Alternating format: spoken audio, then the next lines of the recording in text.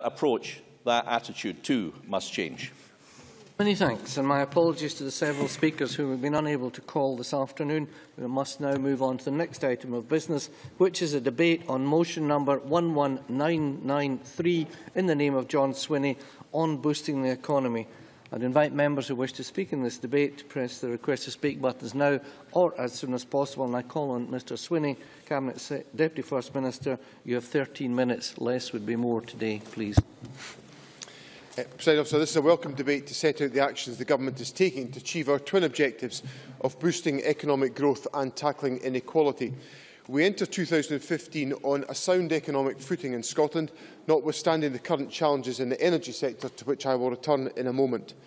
Our economy has recovered beyond pre-recession levels of output, and we have now entered a new phase in the economic cycle where we must ensure that growth is both balanced and sustainable, and that the benefits of economic success are shared by everyone. It is well understood that a strong economy is essential in building a fair and a wealthy society. However, the reverse is also true. A society that is fair and equitable underpins a strong economy into the bargain. A recent OECD working paper estimated that rising inequality in the United Kingdom knocked more than 9 percentage points off total GDP per capita growth between 1990 and 2010.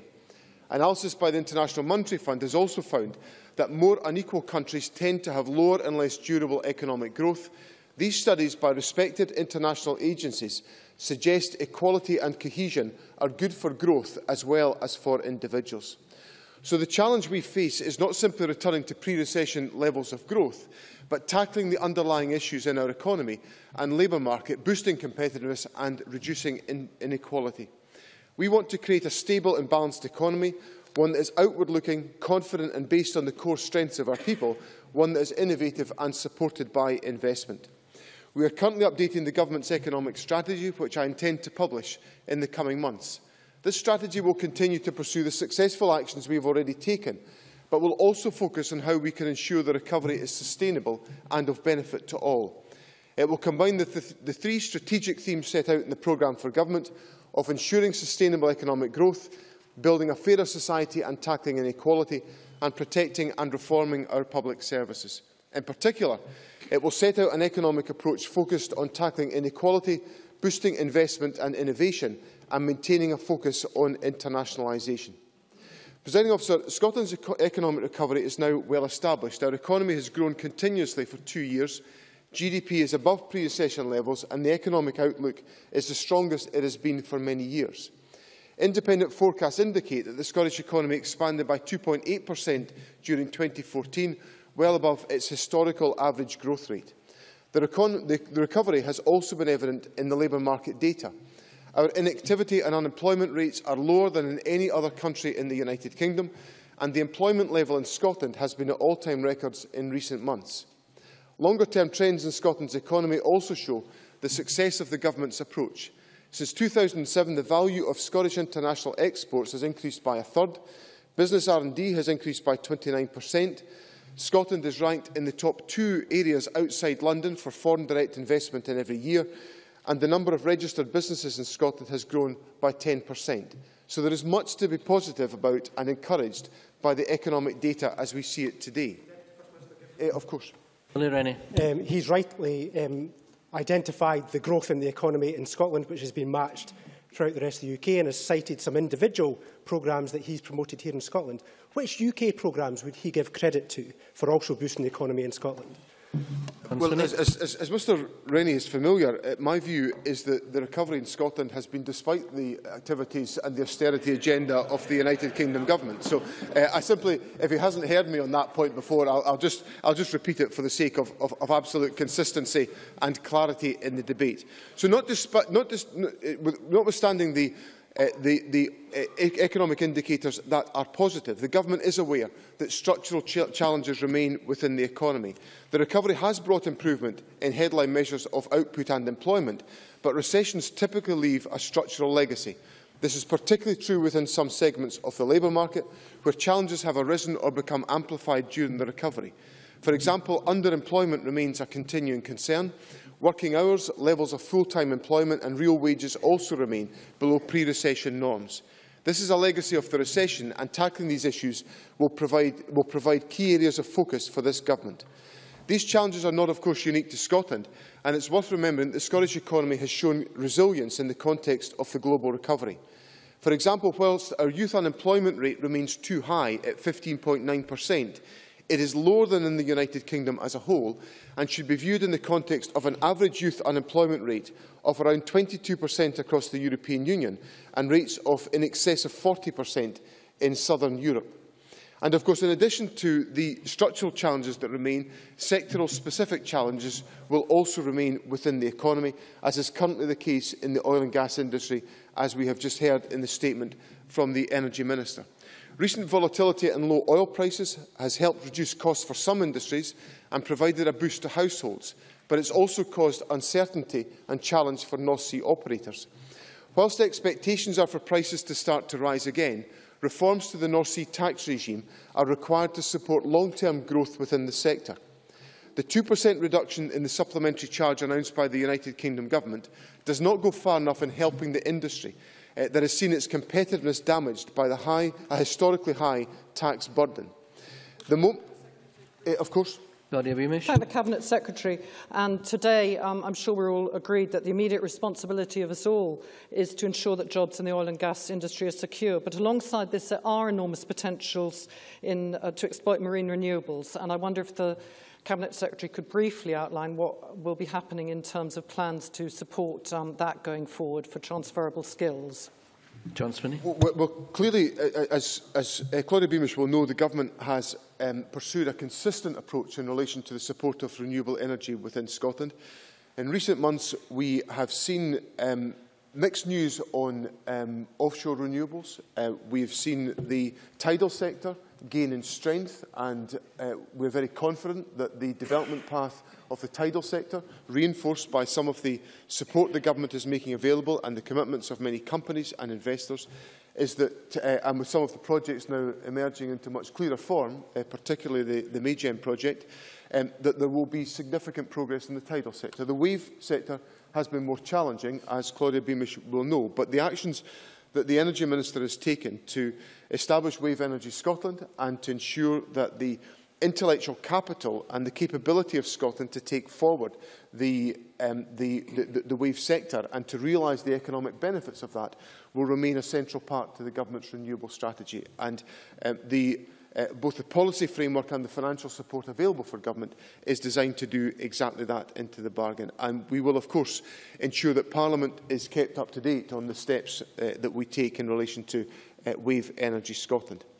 So to, to return to the point I was making on the issue of the oil and gas sector, as we look at the challenges that the industry faces, I want to assure Parliament and reinforce what the Energy Minister has said, is that the Scottish Government will do all that we possibly can do within the powers available to us, whether it's through the support for innovation or the support for skills or the support for infrastructure or the support for enterprise that the Energy Minister has set out. But the crucial point that needs to be addressed just now is the cost base of the North Sea oil and gas sector and the principal area of public sector activity that can make a difference in that respect is the taxation and fiscal regime presided over by the United Kingdom Government. So I hope uh, out of this debate, out of the debate that is going on in Scotland uh, at this moment about the oil and gas sector, the United Kingdom Government listens to the very clear call that we make today Firstly, for the introduction of an investment allowance. Secondly, a planned and phased reversal of the increase uh, the increased supplementary charge. And finally, and probably most crucially in terms of long-term development, uh, the development of an exploration tax credit to encourage and incentivise development in the years to come. Uh, so these measures are central to strengthening the oil and gas sector and to meeting the challenges that we face at the present moment. The Government will continue to be supportive of the uh, the work of business within our economy and uh, look to work with business to tackle many of our shared challenges and priorities. Uh, the Cabinet Secretary for Fair Work will be taking forward the, uh, the, the report of Sir Ian Wood on developing Scotland's young workforce, which outlined a range of actions uh, that will be taken forward in conjunction with Skills Development Scotland, local authorities and our delivery partners and in association with the business community to ensure that we effectively support uh, the development of our young workforce. In addition to this, the Government will maintain a competitive approach on business rates to uh, provide support to now over 90,000 small businesses within our country and to ensure that we have the most competitive uh, framework for business taxation within the United Kingdom. Uh, one of the central features of the Government's economic strategy will be the encouragement of uh, the development of innovation within our economy. And last year's Research Excellence Framework found that each of Scotland's 18 higher education institutions undertakes research of world-leading quality. Um, this will be central to developing the, the focus on innovation that will emerge from the Government's economic strategy. We will also place particular importance on encouraging the internationalisation of the Scottish economy, with Scottish Enterprise and Scottish Development International supporting up to 10,000 more businesses in developing the skills to go international by 2015. Presiding officer, um, the, the, the other element of the government's economic strategy, which will be fundamental in uh, taking forward our agenda, will be the whole area of activity in tackling inequality. And what we've seen emerging out of the recession is the the, the, the significant challenges that exist in tackling in-work poverty. And the government is working very closely with the Poverty Alliance to expand and to raise further awareness and commitment to the payment of the living wage by the company base of Scotland. Evidence indicates that around 80% of those in work in Scotland earn more than the living wage. So we owe it to the remainder to ensure that we improve the quality of their remuneration. I'm delighted that over 90 companies across Scotland are now accredited as paying the, uh, the living wage as living wage employers, 32 of which gained accreditation since Living Wage Week in November. And I think we're beginning to see the fruits of the collaboration that exists between the Government and the Poverty Alliance on raising awareness on this point. I'll give way to Mr McNeill. Thank I think we, we all welcome the initiatives, wherever they come from, our you know, on, on the living wage and to tackle inequality.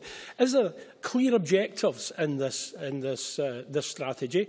Uh, do we anticipate a, a number of employers or a percentage of that remaining people in Scotland who don't receive the living wage as our targets? Will we be able to monitor the progress there? And as it linked to other, other government policies like the cost of transport or cost of rent? Mm -hmm. We, we, we haven't to date set specific targets about the achievement of the living wage, but what we have committed to is open reporting to Parliament about the success of the partnership we have with the Poverty Alliance.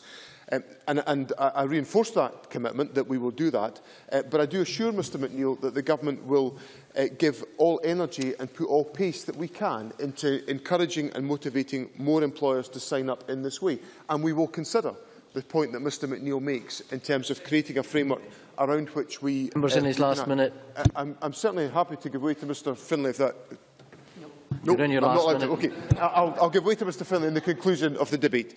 Um, Presiding officer, in, in taking forward the point that Mr McNeil made, uh, the government will um, uh, encourage more and more companies to sign up to the living wage through the Scottish Business Pledge that we included in the programme for government which will essentially encourage more and more companies, as a consequence of their discussions and work with our enterprise agencies and uh, being in receipt of support from our enterprise agencies, to commit to paying the living wage. And that will become a more central part of the dialogue the Government has with business.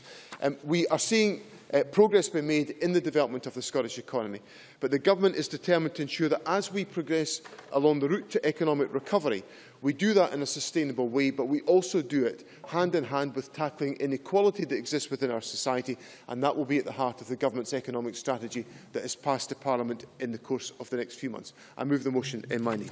Many thanks. Now call on Jackie Bailey to speak to and move Amendment 11993.3. Ms Bailey, you have up to nine minutes, please.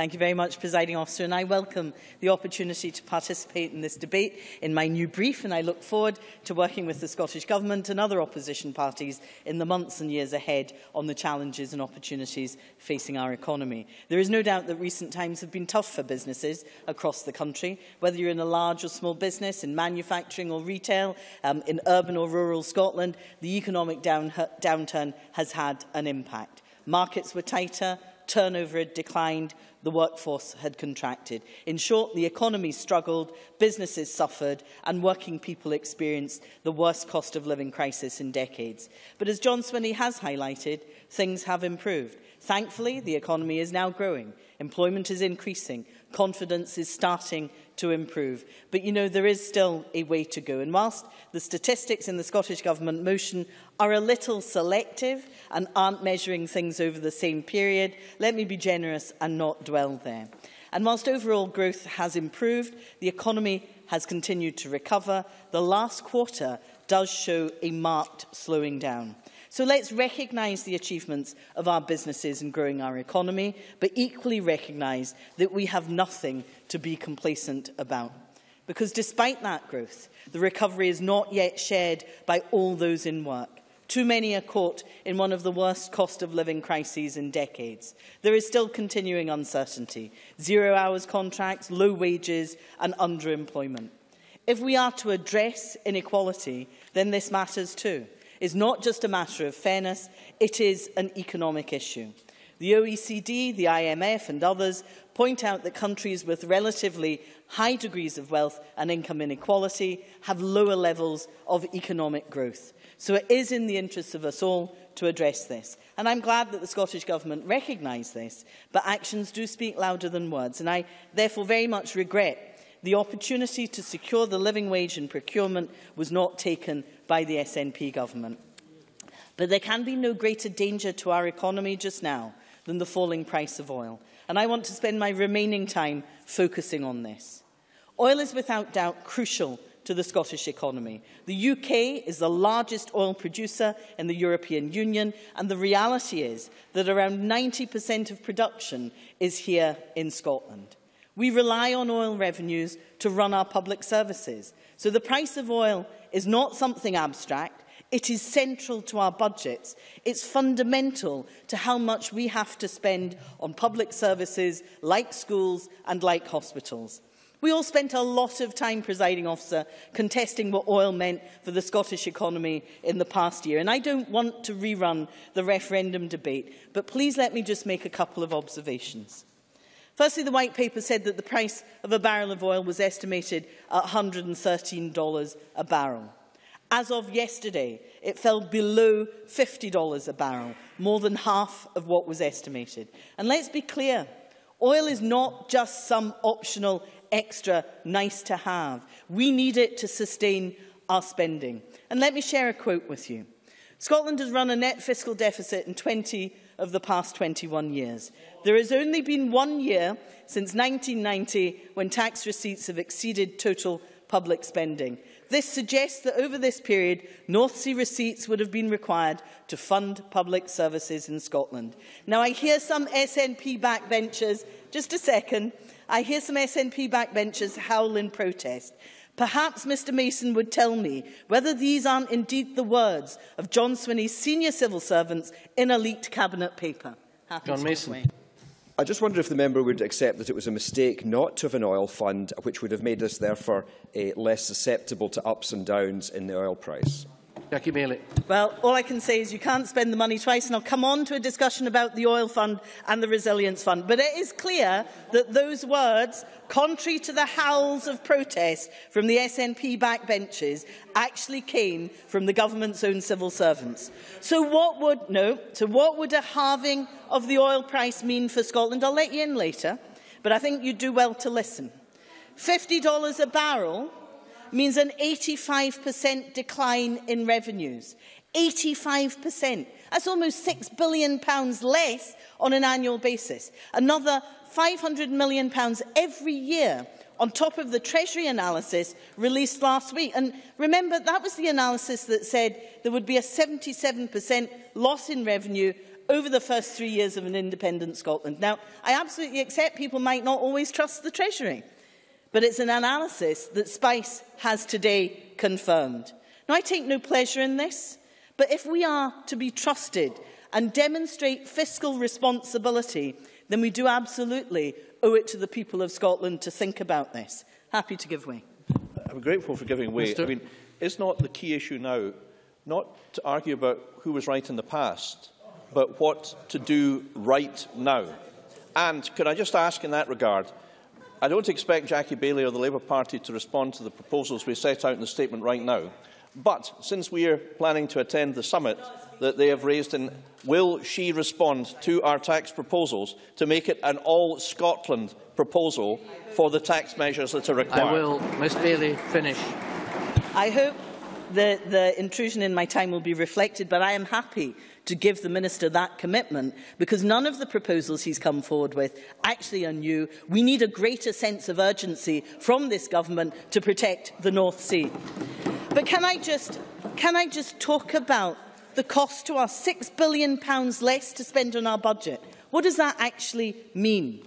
That's more than the totality of our school's budget in Scotland. That's the cost of all all the nurses and doctors in hospitals and community health settings. That's the entirety of the infrastructure investment programme for next year. How many schools and hospitals would we have needed to close? How many teachers and you nurses would we have had to make redundant?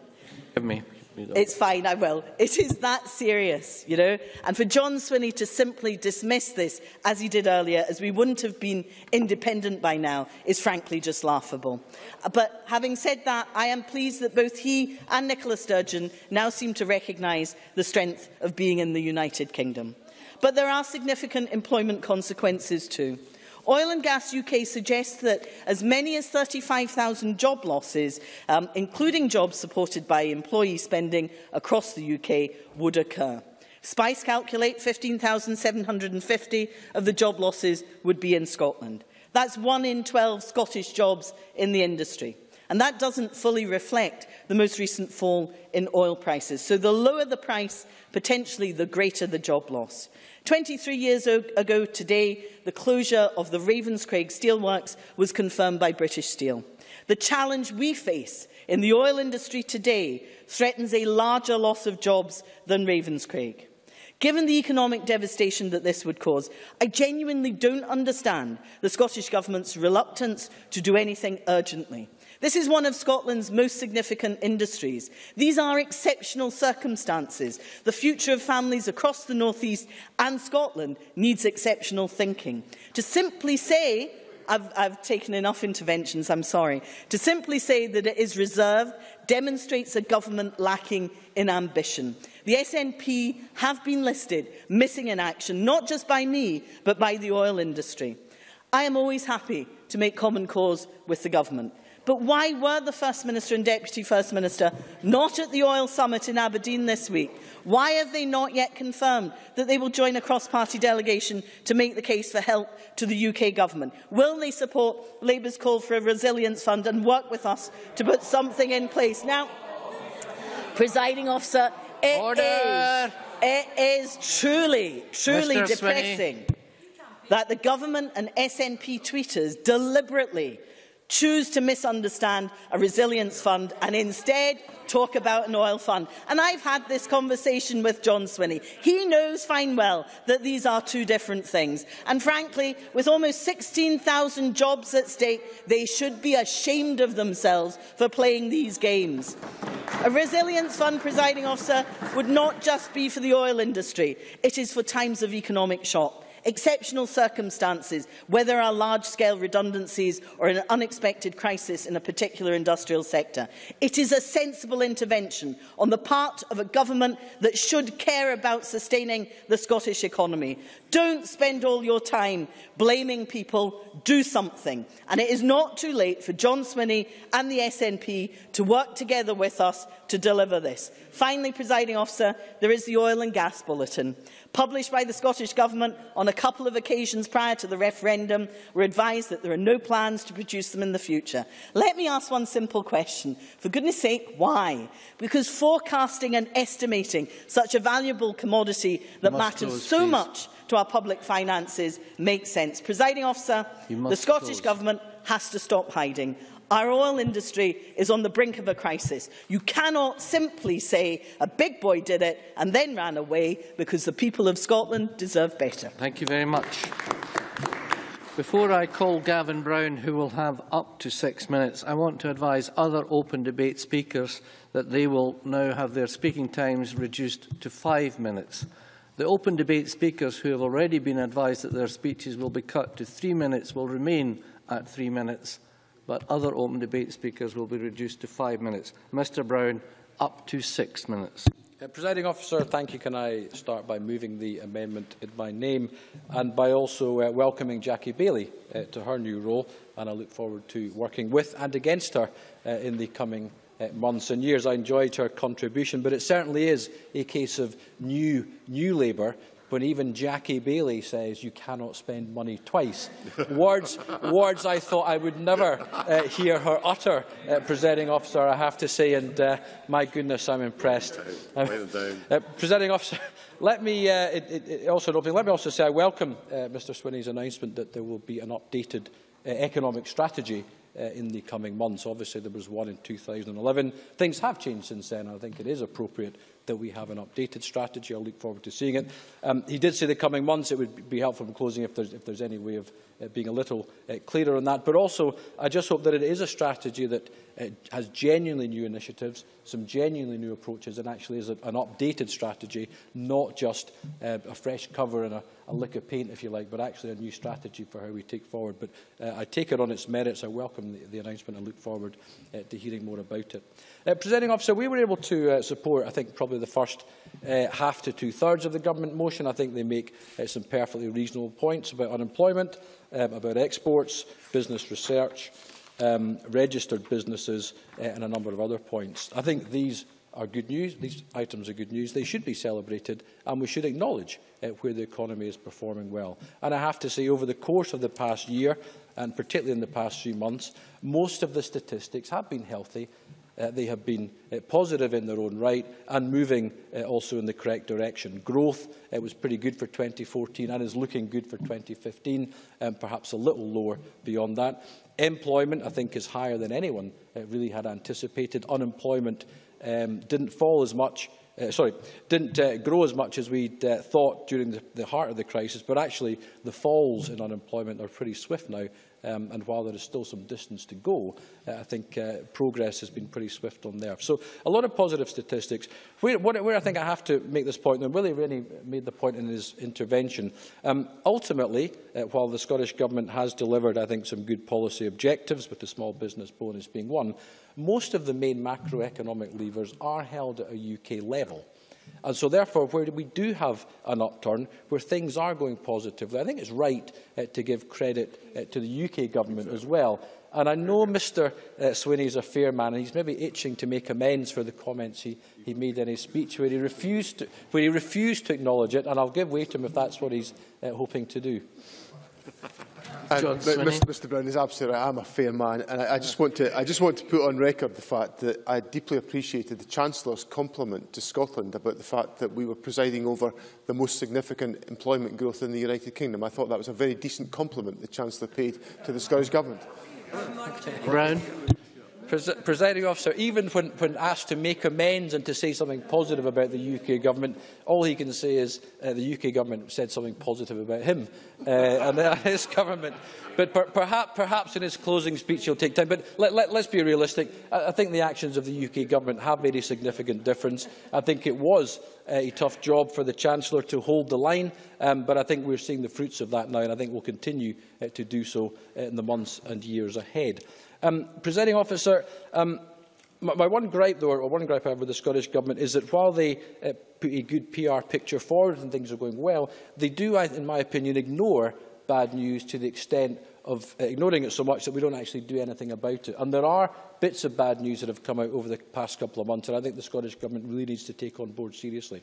Their own publication, uh, entitled Businesses in Scotland, uh, showed that there was a decrease in private sector enterprises uh, between March 2013 and March 2014, a decrease of 2.4%. Their own monthly economic brief showed that the growth gap uh, between the UK and Scotland is probably going to be bigger in 2015 than it was in 2014. 2014 was 3% versus 2.8%. It's projected, and this is obviously a projection, uh, to be 2.4% versus 2% uh, in 2015, so a gap that is growing. We did see a small drop in manufacturing over the course of the year, whereas the UK saw growth of 3.6%. And of course, we had the uh, retail sales index figures, where volume and value uh, were flat uh, in Scotland over the course of the year. Value actually fell slightly, whereas the UK grew by 2.9% in volume and 1.9% in value. Now, I don't put those figures forward just to say that the UK is great and just to try and paint a gloomy picture, but I do feel that where there is less positive news, the Scottish Government needs to acknowledge it It secondly needs to explain it, and thirdly, most importantly, needs to provide some form of response about what we intend to, be, to do about them. They may be blips at this stage, but if those blips are ignored and action not taken, they can become problematic for our economy. Let me touch on oil, Deputy Presiding Officer. Uh, much has been said about uh, that, by that already, but I, would, I, I do find it staggering that the Energy Minister in an eight-minute uh, presentation, a thousand words or so in a speech, doesn't mention price once. I didn't expect him to dwell on it. I didn't expect him to make that the key focus of his speech. But I do think to not mention it at all, I have to say, uh, when it's down at $50 a barrel and, and potentially going to go lower, is a little bit unusual. And I found it also a bit strange as well that he criticised incessantly close, the please. fiscal regime, which is the biggest barrier to development. Yet only a few months ago, uh, months ago the government policy, were we to become independent, was to adopt the entirety of the UK fiscal regime on oil and gas and most other things too. I find that strange, Deputy Presiding Officer. We're happy to close there. Thanks very much. We now move to open debate. Speeches of up to five minutes. minutes. Mark McDonald to be followed by Siobhan McMahon. Thank you, Presiding Officer. I've said before that the way to address inequality is to create a strong and fair economy, one which um, businesses perform exceptionally, which leads to job creation and lower unemployment. Moving people into quality, well-paid jobs should be an aspiration both of government and of business alike. I note from information provided to me by Aberdeen and Grampian Chamber of Commerce that their 2014 workforce survey indicated that two-thirds of businesses in the North East expect to grow their workforce over the coming 12 months. Um, that, I think, is, is welcome in the context of the opening that, that I gave there and also in the remarks that the Cabinet Secretary has made about the increased confidence in the Scottish economy. I note further within their uh, oil and gas survey of 2014 that 29% of operators and 55% of contractors anticipated an increase in total employment. Um, now, obviously, that was looking ahead to 2015 in November 2014.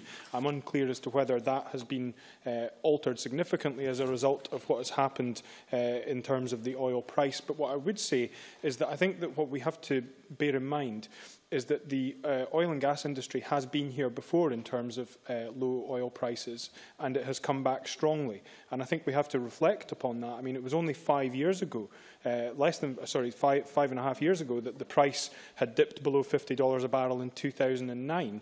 And so we, we have been in this situation previously in the North East and the oil and gas industry has come back, has, has come back strongly. I would say, uh, uh, in terms of the, the comments that have been made, that uh, somehow the, the government's approach in looking at the fiscal regime um, is, is the wrong thing to do. Uh, I would quote uh, from the, the opening remarks to the oil, oil and gas survey from Robert Collier, the Chief Executive of Aberdeen and Grampian Chamber of Commerce.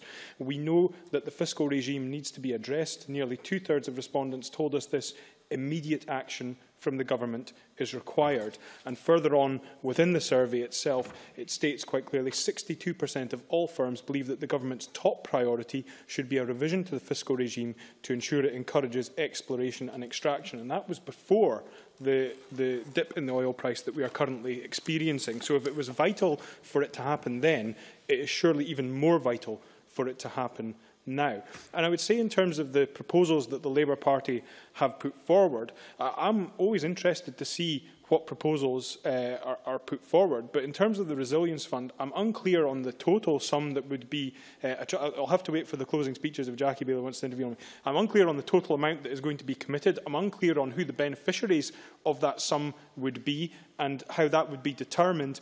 And also, uh, I'm unclear on whether this is a fund that they're looking to have recur on an annual basis, and if so, what the difficulties that may arise from that are if they're basing it purely on consequentials, which, as we know, know requ require for that spending to be recurrent rather than for it to end uh, in a particular financial year. But I want to focus on the wider North East economy and some of the challenges uh, and opportunities that present ahead. Uh, there is a, a vibrant economy in the North East and we shouldn't get too bogged down in talking simply about the oil and gas industry because there are other sectors who are performing exceptionally. Life sciences in the Aberdeen uh, in, in Aberdeen are performing exceptionally and I've visited a number of life sciences companies in my constituency to see some of the strong work that is being done there. In terms of the food and drink sector, 30, uh, according to the Food and Drink Survey of Aberdeen and Grampian Chamber of Commerce, 36% of food and drink uh, respondents to their survey are currently exporting, which is up uh, from 29% in 2011, a further 24% looking to export over the next two years. We have a strong story to tell in this, the economy in the northeast of Scotland, and we should not be afraid to tell it. That said, there have been long-standing challenges in terms of the infrastructure in the area, and I welcome the investment in the Western Peripheral route and the Haudagain improvement, which will take place in my constituency, which will be of enormous benefit to connectivity. I think that the third Don crossing, I've always thought, was a vital part of the infrastructure in the North East, and I'm glad that Labour and administration and the Council are now behind that completely. In terms of Aberdeen Airport, the redevelopment of the terminal uh, is a welcome step forward, but there are two key issues that need to be brought forward there in which we must continue to press the case on. The first is air passenger duty and the early devolution uh, and action to reduce air passenger duty, which causes difficulty in maintaining some of the routes and attracting new routes to Aberdeen Airport. And secondly, ensuring that we continue to have slots at Heathrow for Aberdeen Airport, because that is vital for businesses in the North East, and I hope that's a case that the Government will continue to press. Many thanks. Now calling Siobhan McMahon to be followed by Linda Fabiani. Up to five minutes, please. I'd like to start my speech today by welcoming the fact that Scotland has the lowest levels of unemployment in the UK. This, of course, is good news. However, it would be wrong to think that having a lower rate of unemployment tells a full story. In fact, the unemployment rate for men in Scotland is higher than the rest of the UK, and those aged between 50 and 64 are more likely to be unemployed in Scotland than in the rest of the UK. This is just one of the reasons that boosting the Scottish economy is so important. Another key reason is the underemployment rate we are currently experiencing. According to a Spice briefing, there are an estimated 58,600 people aged between 16 and 24 who are regarded as underemployed. This equates to around 19% of 16 to 24-year-olds who are in employment. This is an extremely important statistic. The fact that we are not utilising our workforce in the best possible way means that our economy isn't working to its capacity. Given the importance of this matter and the significance of, of it, can I ask the Scottish Government what plans they have to solve this particular problem? We also have to have a more concentrated effort on women and employment. It's true that Scotland has a better rate of women in employment than the rest of the UK, and that is to be welcomed, but there's still a lot more to do. Given that in 2013 it was estimated that there were more women, 119,600, underemployed than men, 114,500, we have to begin to address the type of work that is on offer to women. This, of course, is a historic problem that many governments have wrestled with, but we are now in 2015 and it's simply not good enough to continue with warm words rather than real action. The fact remains that there is a 17.5% pay gap between men and women in Scotland. This is something that has been highlighted today at the joint UK Government and Scottish Women Convention Gender Pay Gap event. I hope that, that, that what comes from that event today is a solution to the unacceptable statistic. According to a Spice briefing on the earnings in Scotland in 2014, the difference between men and women's pay is also a complex issue that is difficult to cover using one indicator. However, one measure which they use to provide a useful comparison of male and female pay is hourly pay, excluding overtime.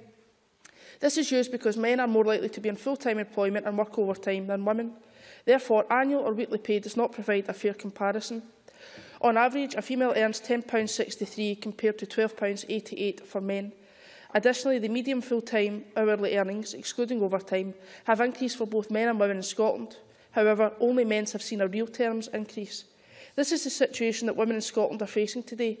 If they find themselves in work, the majority will find themselves with less pay than their male counterpart, and this may be compounded by a failure to utilise them in the correct way, leading to higher rates of underemployment.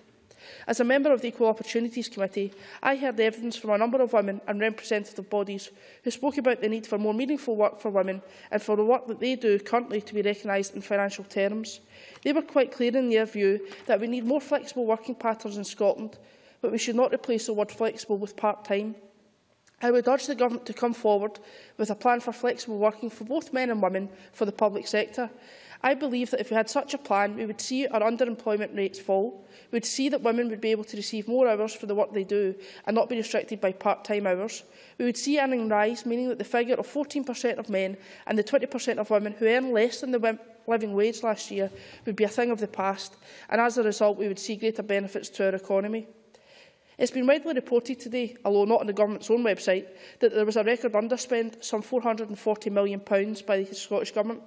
That is simply unbelievable given the challenges many in Scotland are facing on a day-to-day -day basis. Of course, having an underspend is, some, is not something new. Governments of all natures, local and national, have underspent their budgets in the past. People understand this. However, what we don't understand is when we have people queuing at food banks, people unable to heat their homes, a crisis in our NHS, our teachers having to pay for their own materials for their classroom whilst paying more in their pension contributions, and yet the Government have failed to spend the money they have and failed to spend it in such a considerable way. All of this has an impact on our economy. That is not the way to achieve the social equality that the Government talk about in the motion today. It is quite clear that the money could have been put to greater use if it had been devolved locally. Given that the Smith Agreement recognised the need for greater local devolution to achieve greater empowerment of our communities, can I ask the Government what action they have taken on this recommendation and how they will involve their local authorities in particular in plans that they may have started work on? When I started my speech, I welcomed the fact that our unemployment rates are falling. I do welcome this and wish to see it decrease further, but without the ambitions and plans to do this, and given the other challenges I mentioned, I fear that this may not be achievable. As a result, our economy cannot reach its full potential, and that is something the Government must address and address now. Thank you. Thanks. Now call on Linda Fabiani to be followed by Willie Rennie. Uh, thank you very much, President Officer. C can I first of all say that this carry, on, carry forward money um, from the Scottish Government's budget, the Labour group should look to their own time in office when um, money was put aside every year, never spent and almost lost back to the UK Treasury. Can I go back today to the motion which uh, explicitly links the delivery of sustainable economic growth with addressing long-standing social inequalities? That's really welcome, because uh, already in this new year, 2015, we've held debates relevant to that very subject, health inequalities, uh, mental and physical well-being. And of course, um, we know that mental and physical well-being generally reduces the lower the socio-economic background. And that's why I'd like, first of all, to say in relation to Gavin Brown's uh, amendment, in, which includes the UK economy is growing. Yeah, aye, but for who? Uh, child poverty and inequality are on the rise, and a recent report by the OECD made it very clear that growing income inequalities have acted as a brake on econ economic growth. And can I say that's under both Tory and Labour UK governments. So the approach of the Scottish Government, to me, is much more appropriate on many counts. Uh, I would suggest, uh, not least, for example, um, the, the appointment of Harry Burns, um, former Chief Medical Officer of Scottish Government, onto the Council of Economic Advisers. And I think this focus on health and well-being uh, being given when considering the economy is very, very welcome. Uh, so that, that appointment is excellent because his knowledge and experience and his interest, deep interest in health inequalities will provide valuable input into building a strong and sustainable Scottish economy which leads to a fairer and more equal society. Yes, of course. Neil Finlay. I wonder if the member would agree with Jerry McCartney, who says that the, the, the easiest way or the quickest way to deal with health inequalities is to introduce the living wage across the board.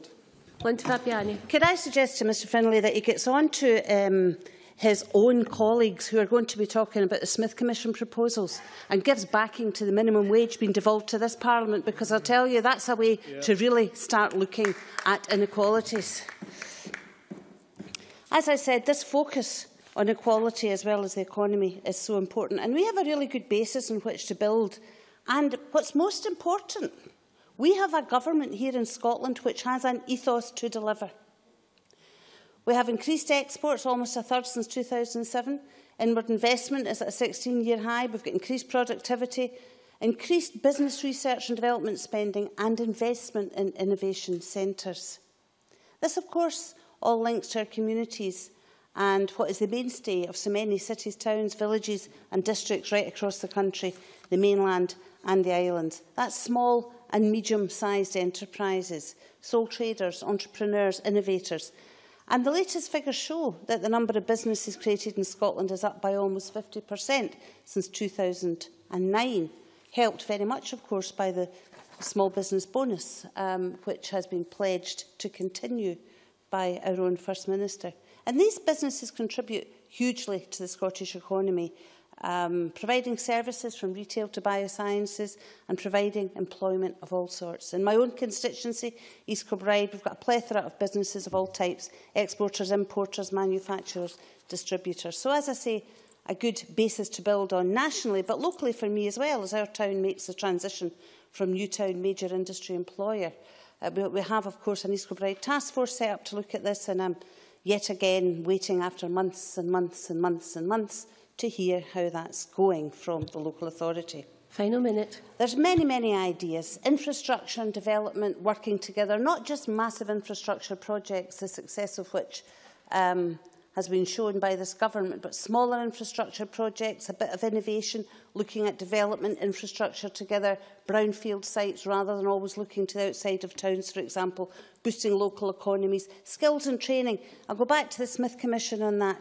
Uh, I do have concern about um, the, the, the Smith Commission, um, what's been given to us in terms of job creation, for example, because we're doing good work with colleges, we're doing good work with skills and training.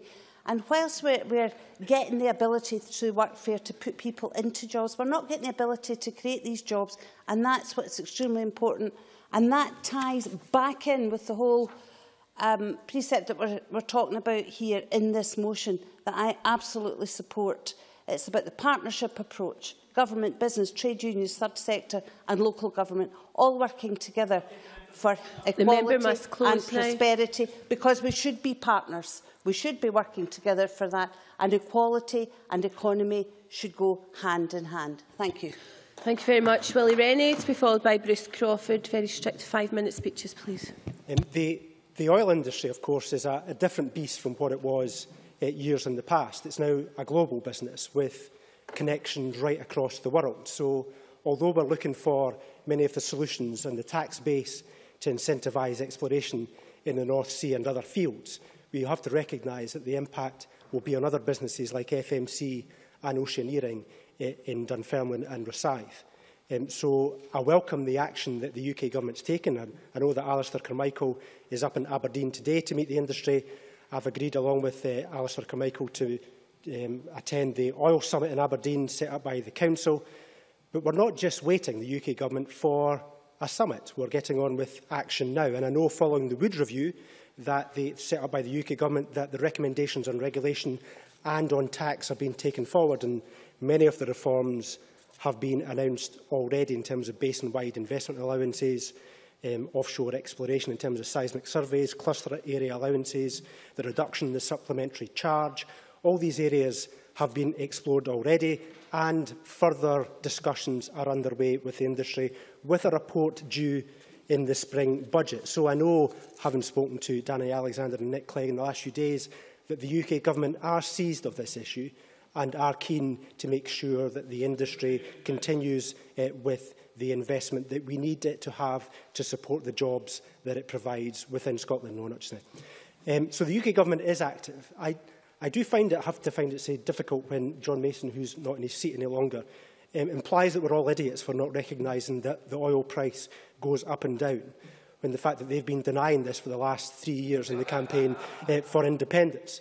Um, and I know it's an inconvenient truth, but the reality is that if the decision had been different in September, today's debate would not just be about the jobs issues that we've got with the North East and the rest of Scotland, we'd also be facing a financial crisis, which would directly affect the public services that everybody in this chamber wants to support. I'm just grateful that we did not vote yes in September. The news on the wider economy is more positive. In the Liberal centre ground, we know the value of building a stronger economy alongside a fairer society to create opportunity for everyone. And we're making progress on both. In Scotland, employment is up 168,000 since 2010. In the last year alone, unemployment has fallen by 44,000. The SNP complains that it doesn't have uh, the economic powers in this Parliament in order to make a difference. But as soon as there's any growth, any improvement in employment, any reduction in unemployment, they're quick to claim the credit. So the progress here is matching the progress in the rest of the United Kingdom. In the second quarter of 2014, Scottish GDP grew by 0.9%, matching the growth in the rest of the UK. On the same year, on the year, that was up 2.6%, 3.1% in the rest of the UK, broadly similar growth figures. Manufacturing is growing faster than any other sector, and investment is set to increase by 11% this year, growing faster in the UK than any other major advanced economy. Britain was one of the countries hardest hit by the financial crisis, but now has the strongest recovery in the European Union, the best recovery in the G7, the best job creation in Europe, more jobs created in the United Kingdom than in the whole of the rest of the European Union combined. Now, the SNP and Labour said our plan would not work. I'm just glad that we ignored their advice. It would be to their credit if they were to stand up now and apologise for giving us the wrong advice and admitting that they were wrong. Because they were wrong, Final we've got minute. growth. 168,000 jobs can't be wrong. We've also we've delivered that by making significant investment changes in the UK. 68,000 businesses have got the national insurance allowance, big business boost for small business, corporation tax down to 20%. We've actually made work pay by cutting tax for 2.2 million people and taken 236,000 Scots out of tax altogether. We've made a big boost in terms of cutting regulation, supplier finance with the Green Investment Bank and the Business Bank. On technology, billion pounds on investing in broadband and mobile infrastructure. The Technology Strategy Board investing in the offshore renewable energy catapult in Glasgow. These are all significant improvements. It would be good if the Scottish Government were to recognise the progress that the UK Government is making to provide that 168,000 extra jobs in Scotland since 2010. That's progress. They should recognise it. Thank you very much. I now call Bruce Crawford to be followed by Neil Findlay. Thank you, President Officer. As a starting point, I'd like to reflect on the Chief Economist for Scotland's report on the state of the economy that issued towards the end of the year. The opening statement of that report was hugely encouraging. It stated, against a relatively subdued global economic environment, growth in output in Scotland in 2014 will record its strongest performance since 2007. The same report tells us that during 2014, in many ways, the Scottish economy surpassed pre-recession levels, with continued growth, resulting in rising employment, falling unemployment and economic inactivity. The Chief Economist's report's positive findings were also reflected in recent positive economic reports for 2014 from the Scottish Building Federation, the Scottish Chambers of Commerce and the Bank of Scotland. But the Chief Economist was also right in his report to reflect on the fact that real wages in the economy still remain below pre-recession levels. What this tells us, and I think we all recognise that, that while many people some fa and families are prospering in the current economic climate, those others who are in work and working hard feel trapped and frustrated by a life with low income. Some of the other wider reports that I mentioned a few moments ago also tell us about some key skill shortages in areas of construction, retail and tourism that have the potential to hamper some growth in 2015. The findings of the Chief Economist's report on real wages in the economy, when taken together with the skills shortages outlined in the wider reports, presents a real opportunity for the upskilling of our workforce. That's not, not down, all down to government. Companies can help themselves by finding better ways of developing the skills within their own workforces to help their own employees move into more skilled and better paid jobs. But of course, companies and government can also work together so government can tailor interventions that it has at its disposal to best effect. It would be good to hear from the Cabinet Secretary today about what more the government can do to better tailor its interventions in this area. Now, I know my, from my time in government that the Cabinet Secretary has a strong personal commitment to building a fairer, more sustainable and balanced economy. So with that in mind, I want to make a point to him today about how we invest spend in our infrastructure in future. Now, I know that this government will spend around £4.5 billion in infrastructure spend during 15-16, and that's certainly something to be applauded. I also know that it's important to make the big investments that are necessary to bring about the vital improvements that are required to projects like the Southern General Hospital in Glasgow, the New Forth Road Bridge, or indeed the Aberdeen Western Peripheral route. The point I would like to make today comes from my experience in my own constituency. I believe that to create the fairer, more sustainable economy the government seeks, we could secure greater opportunity by shifting the emphasis from the capital-hungry big projects to spending on just as vital but more modest projects. I've seen at first hand in my own constituency the transformations organisations like Historic Scotland, Loch Lomond and Trossachs National Park or the Forth Valley College have been able to achieve through much more modest amounts of capital expenditure. Organisations investing in more modest but nonetheless important projects, while I believe creating more local jobs and resultant significant improvements in the local economy. Organisations in the main employing more locally based contractors, ensuring that greater added value from the government spending is produced for the local and Scottish economy. Now, I don't have as much time as I thought I would have available, but I want to try to cover two other points quickly. Firstly, in relation to ensuring that rural Scotland benefits in the way it should from the rollout of faster broadband speeds. The Cabinet Secretary will aware have written to him expressing my concern about these matters, in particular what could be done to improve the situation in my Stirling constituency, and I look forward minute. to receiving his response.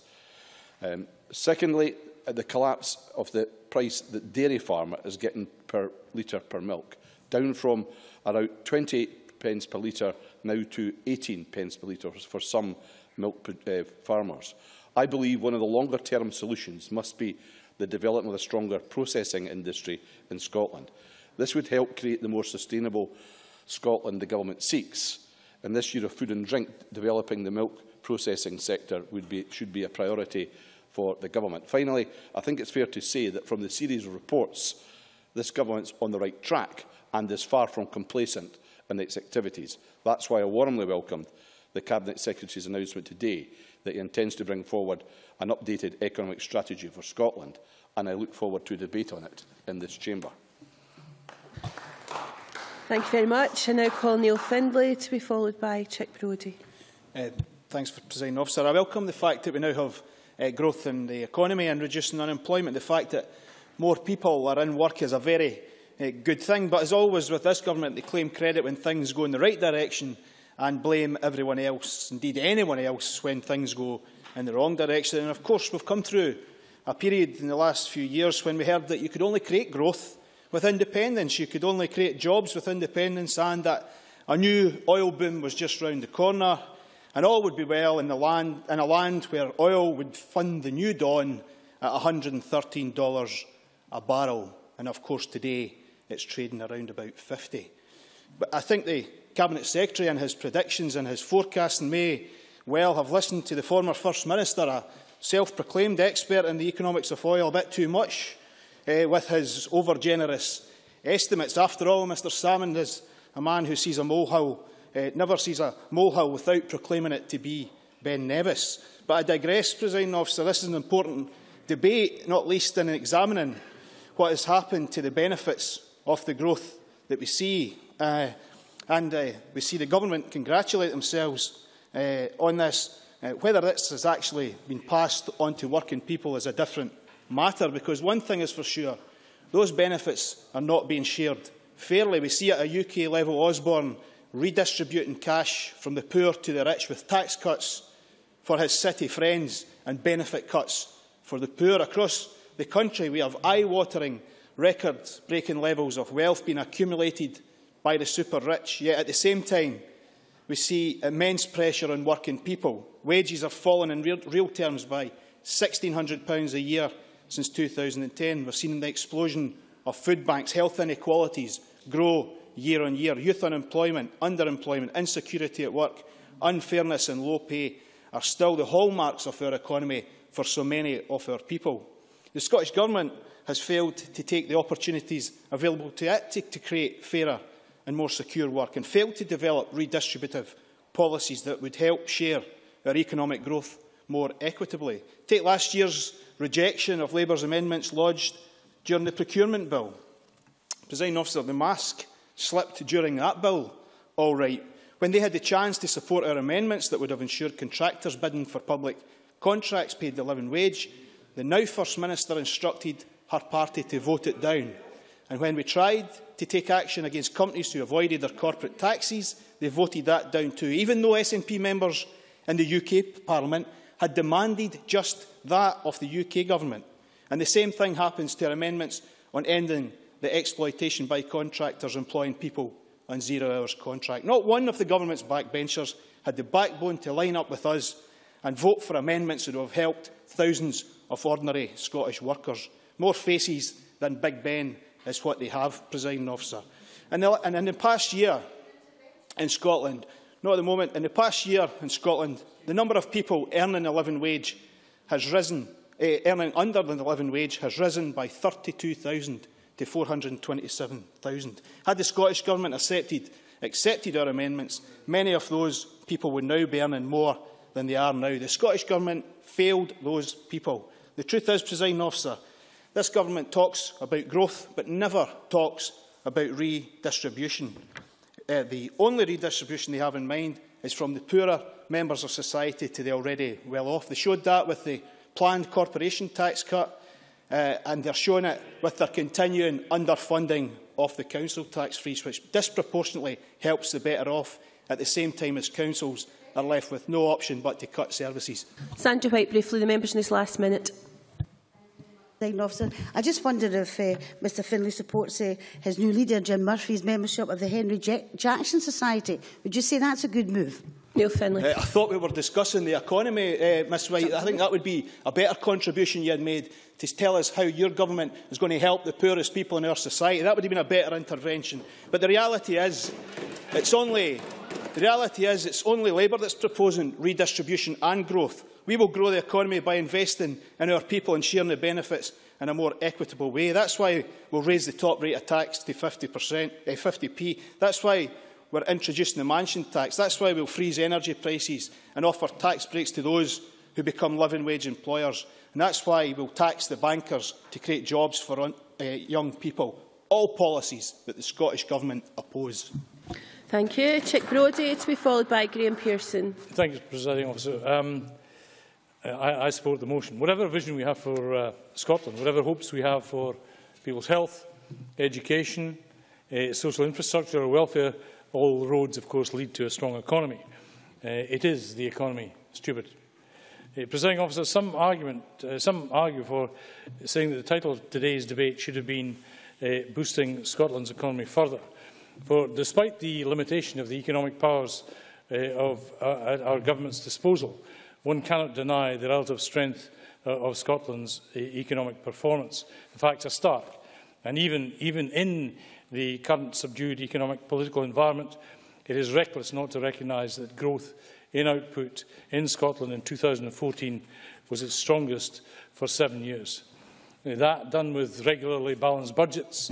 Uh, we have a, now a labour market drawn by rising employment where business uh, and consumer confidence is more upbeat and where uh, focused investment uh, uh, offsets much more difficult trading conditions. All of that and more immeasurable outcomes married to an environment that has highly skilled people, uh, has a wealth of natural resources, international recognition for our innovation, and has an international brand is second to none. All of that and more, and yet we still have a situation, a legacy of a recession which has been mentioned, where real wages are still below those of 2008 and where there is spare capacity in the labour market. But that provides us, yes, with a challenge, but more importantly, a, an opportunity to address an imbalance in the income gap and close the capacity black hole. The OECD report just two months ago indicated that growing income inequalities are a brake, a brake on economic expansion. So we have to have a seismic shift to move towards a high-wage, high-productivity economy where there's a clear alignment of activity both in the public and private sectors uh, with the government's national economic strategy. And to, I too welcome the announcement by the Cabinet Secretary uh, regarding the update of that strategy.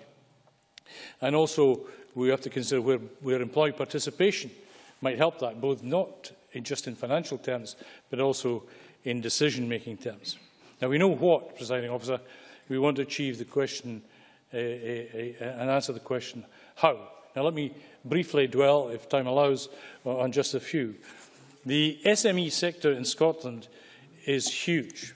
335,000 businesses, 98% of which employ fewer than 50 people, representing 42% of Scotland's private sector employment and 24.5% of its turnover.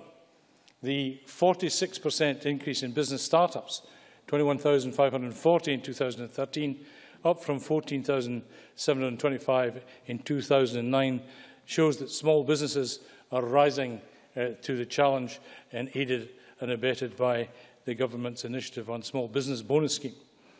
The FSB uh, Confidence Index last year showed that the balance of Scottish small businesses had planned, they'd planned in Q4 of last year to increase future capital investment over the next 12 months.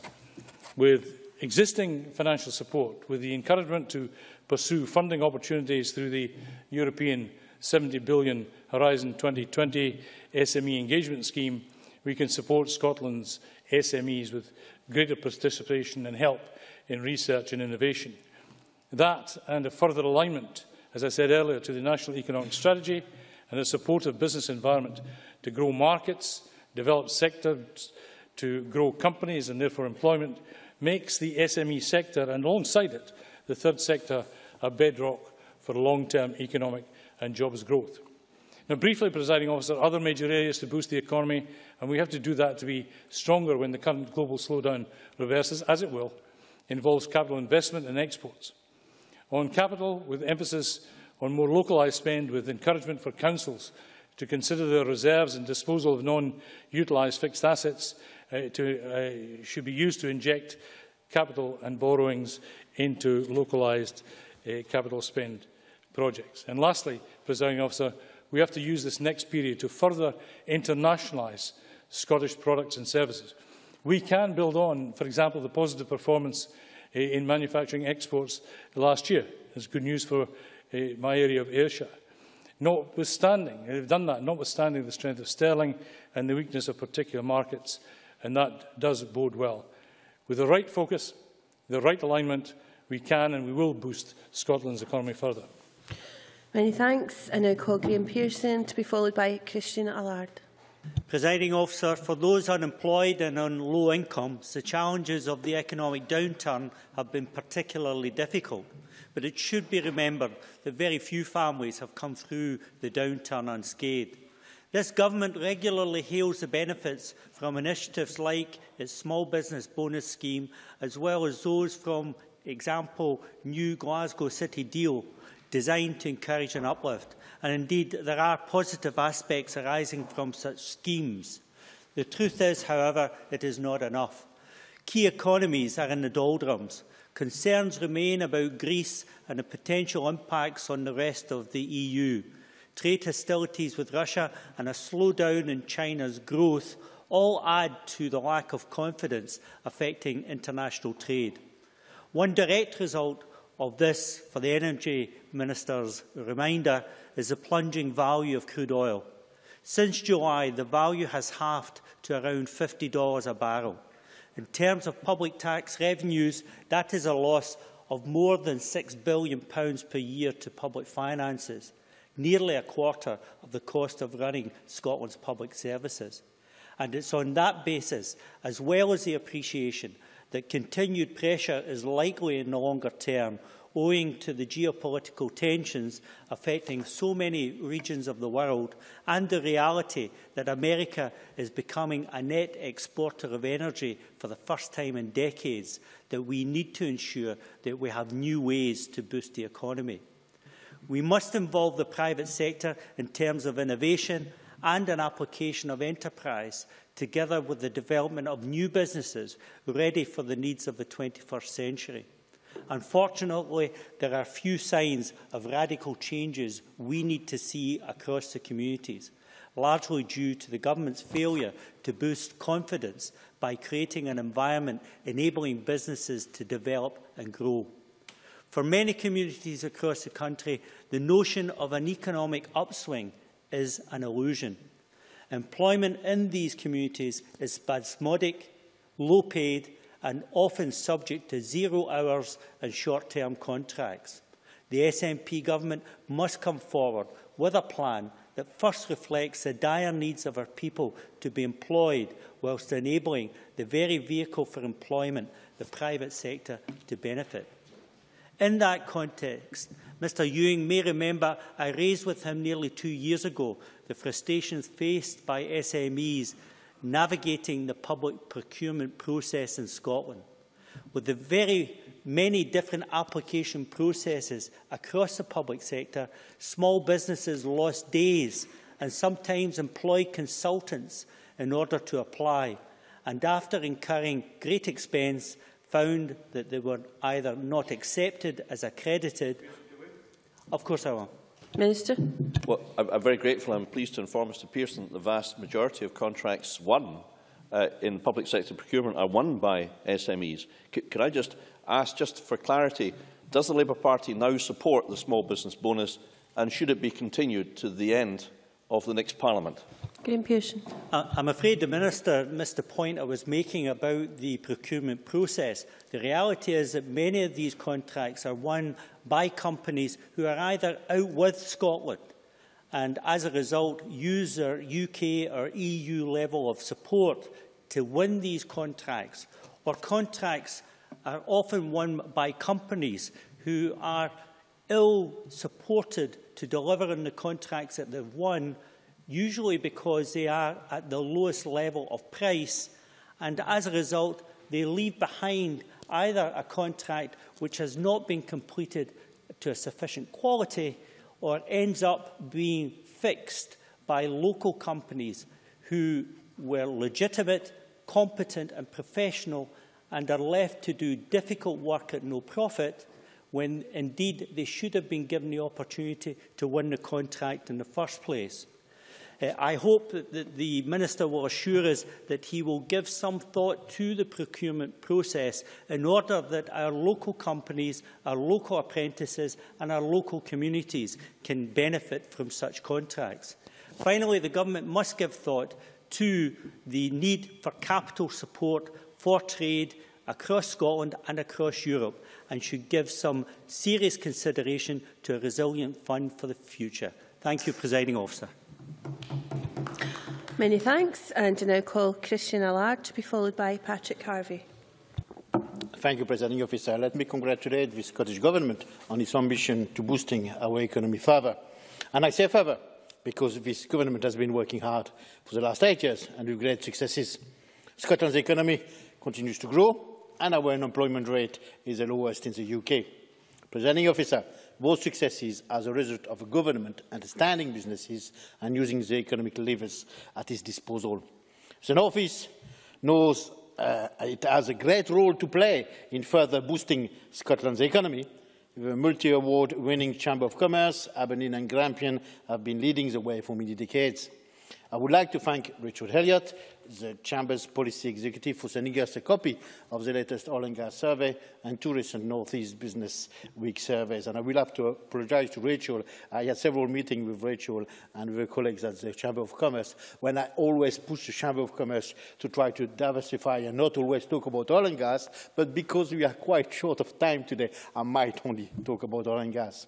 The Chief Executive of Aberdeen and Grampian Chamber of Commerce, Bob Collier, uh, in his comment is very clear regarding the oil and gas sector. I read, Although uh, confidence levels are at a six years low, the industry has a clear idea of what it needs to do following the studies chaired by Sir Ian Wood and Melfort Campbell. I wish the opposition would read those surveys provided to us. I don't know if they got them, I don't know if they read them. The number one recommendation uh, that the industry wants government to act upon, that's the members of the Chamber of Commerce who said so, and Mark McDonald uh, spoke about it. But what he didn't say, it was the number one recommendation. And I read it again. We know that the fiscal regime needs to be addressed. Nearly two-thirds of respondents told us this. Immediate action from the government is required. Immediate action from the UK government is required. And what do we get instead? A mere 2% increase in the tax rate. Prior to 24th of March 2011, the tax rate was at 20%. The Tory Lib Dem coalition increased it to 32%. We heard of that before today, of course, because the minister uh, had uh, in his statement and talked about it. But I think it needs to be repeated because I don't think the message is going through. Uh, they paid the price in the 2011 election, these two, these two uh, political parties. Would the same UK government reverse the increase? No the answer. Instead, we took the tax rate to 30%. 10% higher than it was in early in, early in 2011. That's not a decrease. That's an increase of 10%. This is not how to boost growth, presiding officer. This is how to destroy an industry, presiding officer. And Conservatives and Liberal Democrats will pay the price in the ballot box in a few months' time, just like they did in 2011. Because of this, the Chamber of Commerce uh, survey, the oil and gas survey, is telling us that confidence about the United Kingdom continental shelf is significantly down in comparison to previous years, with 46% of respondents reporting they are less confident. 49% of respondents are reporting that they were working at or above optimum levels in the United Kingdom continental shelf, which is also down on previous years. And of course, business confidence in overseas market is higher than the United Kingdom continental shelf outlook. Because what the opposition benches fails to understand is that we need to be competitive worldwide, whatever the price of oil. And this was alluded to early on in, in the statement. We talked, of the minister, we talked about internationalization. That was a lesson we learned in the 80s when we had a lot bigger crisis than we have today. And now, nowadays, because of, of the lesson we learned in the 80s, half of the sales in the sector are now abroad. And uh, as Mark McDonald said as well uh, from the report of the Chamber of Commerce, half of the operators are reporting a reduction in contract staff, with almost two-thirds expecting further reduction in, contracts, in contractors in 2015. That was what they said at the end of the year. But there are two points there that many in the Chamber failed to understand. Is first that we in the Northeast have had a skills shortage for many years. Many of us contractors were struggling to find staff anyway to work in the Northeast. The second point, Presiding Officer, is that many of the skilled workforce is already working abroad. If the UK government doesn't act immediately, we are going to lose this workforce. Most of them, originally, originally from the North East, will end up settling ab abroad. So major company needs to have that, that incentive, and we've got to make sure that we give that confidence uh, for, the, for, for the oil and gas industry. Because I share the optimism of the industry, and they know what we are facing, and we are acting upon it, and we just ask the UK government to do the same. Presiding officer, this is why I will be voting with the government tonight, and against the Labour shameful uh, amendment. The North Sea is open for business. Presiding officer. Many thanks. And I now call Patrick Harvie to be followed by Stewart Stevenson. Thank you, Deputy Presiding Officer. I'm grateful for the chance to participate in this debate, though I fear I, uh, I might be painfully predictable uh, today, not only mentioning climate change during a statement from Fergus Ewing, uh, but it's possible I'll have something to say about GDP during a debate on the economy.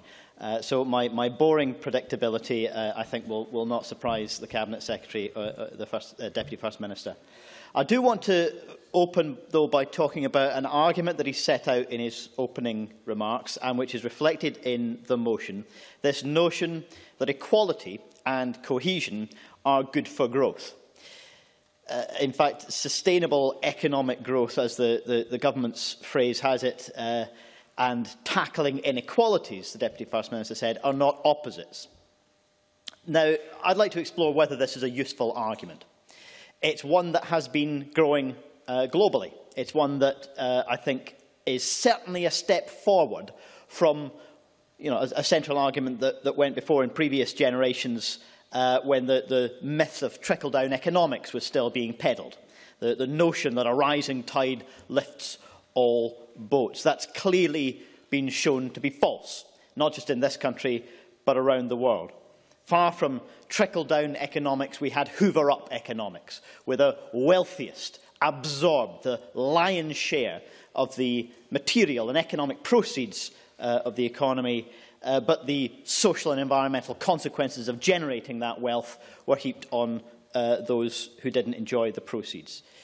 So this notion that equality is good for growth, that if we want GDP growth in future, we need to close the, uh, the wealth gap. We need to close income and wealth inequality. It's an argument which has been advanced, not least by uh, Thomas Piketty and by Joe Stiglitz and other significant global figures. And it's interesting that the government seems to be foregrounding this argument. It's one that we tried to draw out recently in a debate on wealth and income inequality. I'd like to argue that, yes, this argument is a step forward, a step uh, advanced from that trickle-down nonsense that we saw before.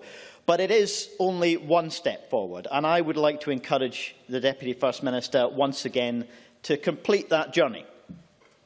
It's not just that equality, social justice, well-being and environmental protection don't undermine growth rates. It is, in fact, that there's no simplistic link between them at all. There have been periods of time when GDP growth has risen and risen and risen relentlessly, which saw growing inequality widening uh, inequality, worsening health, increased environmental destruction. And there have been periods of recession in GDP terms which saw exactly the same problems continue to get worse.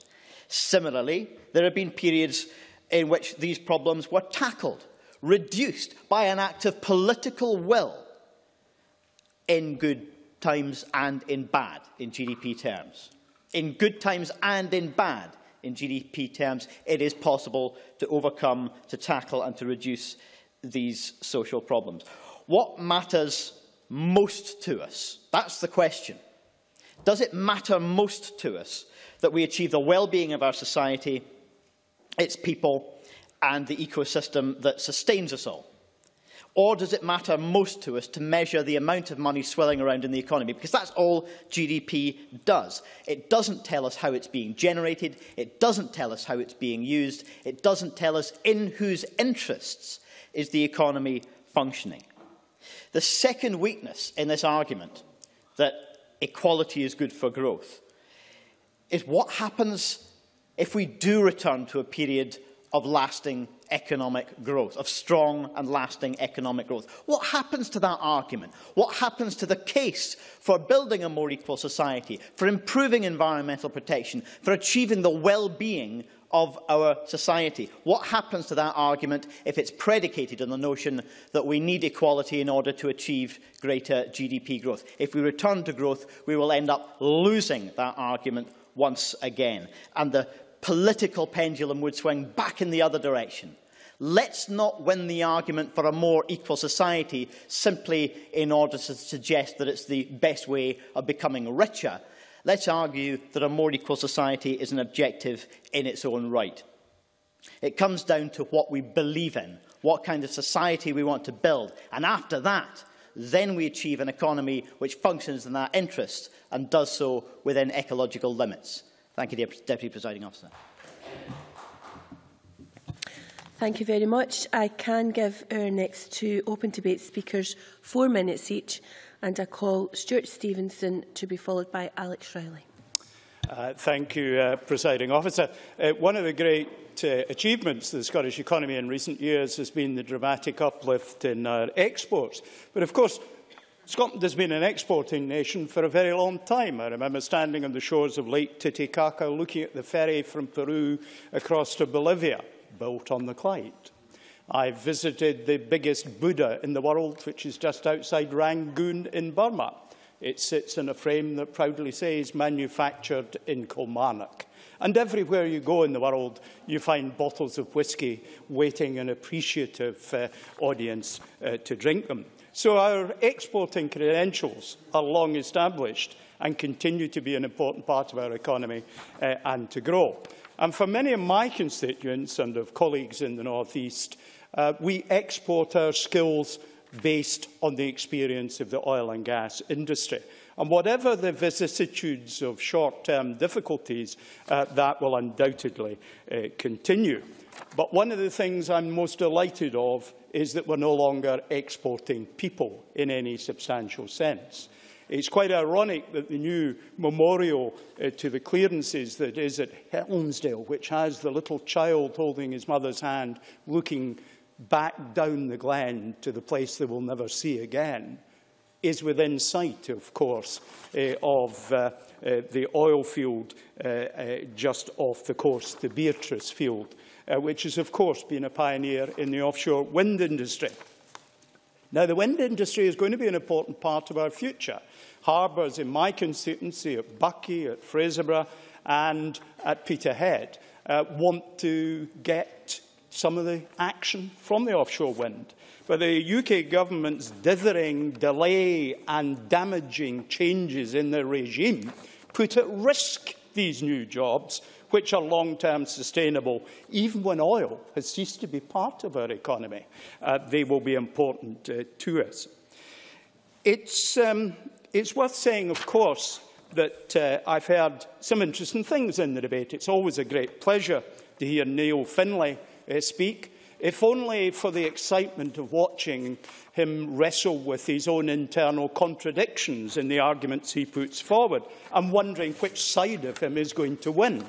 Because, of course, when he criticises the uh, suggestions that Scotland should as Northern Ireland is before, going to before the general election, have control over corporation tax, he of course ignores the fact that Gordon Brown has cut corporation tax more often than anyone. Clearly, he's been criticising uh, Gordon Brown, and therefore I can only assume that Mr Findlay is, of course, a Blairite.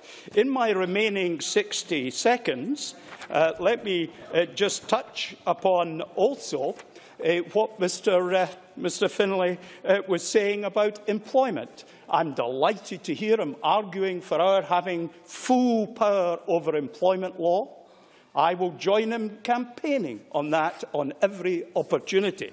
Uh, his recent uh, campaigning against that was not uh, too good. Let me just conclude, uh, presiding officer, by addressing uh, the issues that, uh, that, Jackie Baillie uh, talked about. She seemed to celebrate the drop in oil prices, although, of course, the price that we're talking about that the UK government had from the Department of Energy and Climate Change is exactly the same as the one that the Scottish uh, government used. And we hear that in a year's time we'll be back to the same place. The long-term future for oil is as a feedstock for our chemical industries. We've got to get off burning it. That's certainly important. Presiding officer, I look forward to future prosperity and growth in our economy. Thank you. And I now call Alex Rowley. Presiding officer, I note that in a briefing that was given by the Eh, SCVO, they said, we are heartened by the Scottish Government's recent and ongoing rhetoric about tackling inequality and appreciating that doing so is part of growing a strong economy. Um, they went on to say they were keen to hear more practical measures and that they hope the debate today will highlight some of the ways in which the Scottish Government will look at achieving its aims. And I think, sadly, they'll be disappointed because what's not come across today is how we intend to, or how the Scottish Government intend to tackle inequality. You would have to say that their track record over the last seven years has not been um, very good. But I do, I do appreciate that John Swinney um, kicked off this debate by saying that we enter 2015 on a sound economic footing. And he recognised that the more unequal an economy is, the less successful that economy will be. So there is a real opportunity in 2015 to start to tackle inequality in Scotland. Um, the economic strategy that John Swinney talked about bringing forward, an update, and I look forward to that. And I do hope that he will involve all parties in this chamber, but also talk to local government and talk to all the partners that are out there, including the third sector, SCVO, and, and, and many, many more. Because if we're going to create a prosperous and fairer society, then we need to start to tackle poverty. It's also worth um, noting in the short time that I have today that in terms of the Scottish Government figures that were produced in 2014, with the latest figures for poverty, um, relative poverty 2012-13, there were 820,000 individuals living in relative poverty in Scotland. Um, that was a reverse in the reduction that we had seen in recent years, with more than 110,000 people living in relative poverty compared to the year before. And I suspect the figures for this year will be even higher. So we see that there is a, a, an ongoing increase in relative poverty in Scotland. In 2012-13, the rate of people in absolute poverty increased by 17%, some 880,000 people. Again, an increase of 100,000 people living in, in, in um, absolute poverty. So we need to be able to attack, attack that. And I would suggest to the to, to, to, Mr Swinney that if he, for example, was to start looking at, at policies like reversing the £61 million real-term cuts that's taken place in colleges over the, the last few years, then that would be a very positive step, because if we're serious about tackling inequality and poverty, then we need to do a lot more to get people the skills so that they can get the jobs that are available and the jobs that we should be creating. In terms of in-work poverty, we also have a major issue, and the same Scottish Government statistics show that nearly half of households in poverty, 45% of all people in poverty, are in a, in, a, in a household where at least one person is working. Over half, 52% of working-age adults in poverty are in working households. Six in ten, 59% of children in poverty in Scotland live in a working household.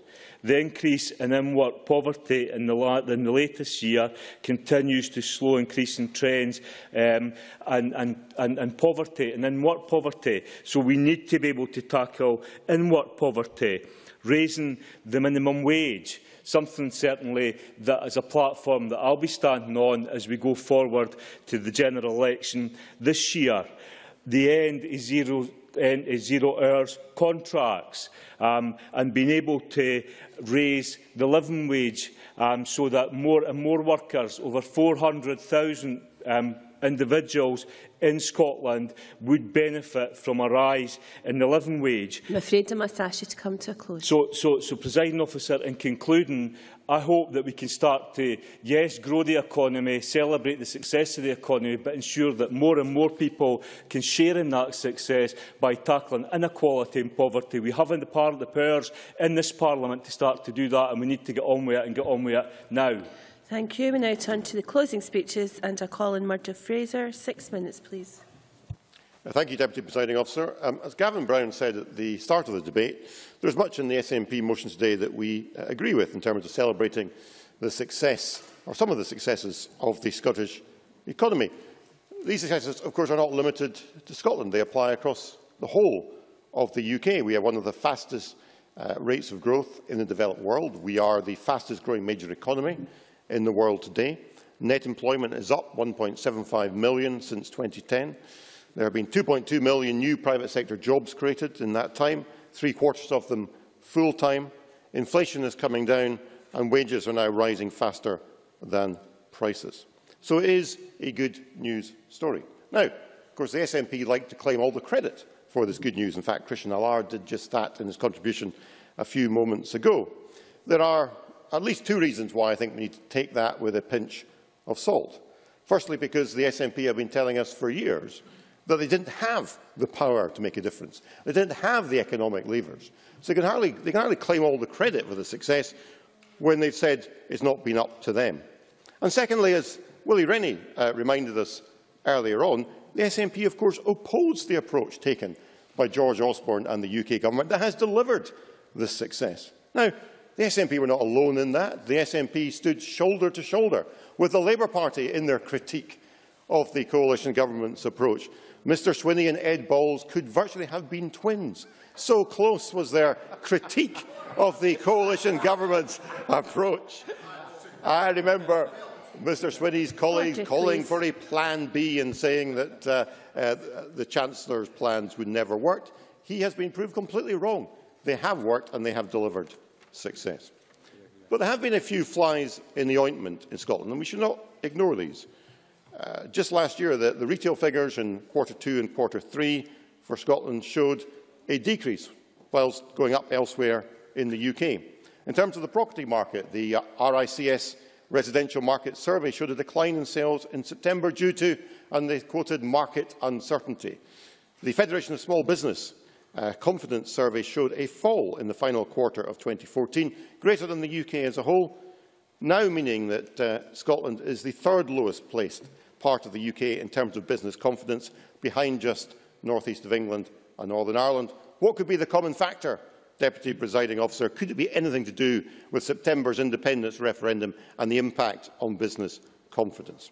So the SNP should not claim credit for all the good news when their own obsession has potentially set us back. And the Mackay Consultants' monthly economic report for December concludes there are increasing signs that growth in 2015 will be significantly lower than in 2014. And we haven't even talked yet about the oil price.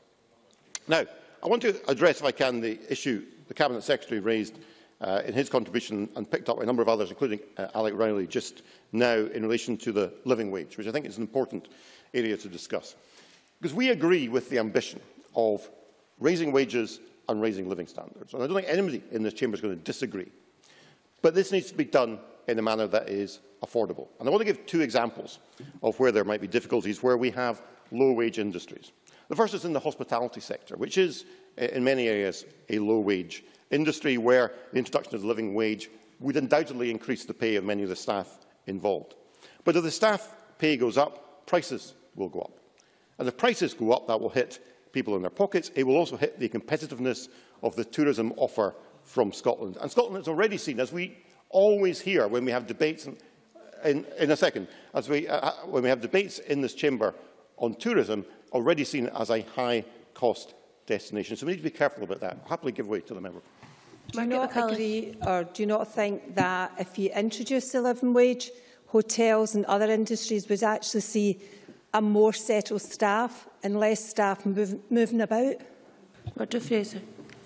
Indeed, I, I'm not disagreeing with the member that there, wouldn't be advantages to bringing in uh, uh, the living wage. All I'm saying is to, to bring it in uh, too rapidly or to bring it in without being aware of some of the consequences might um, uh, actually turn out to be disadvantageous.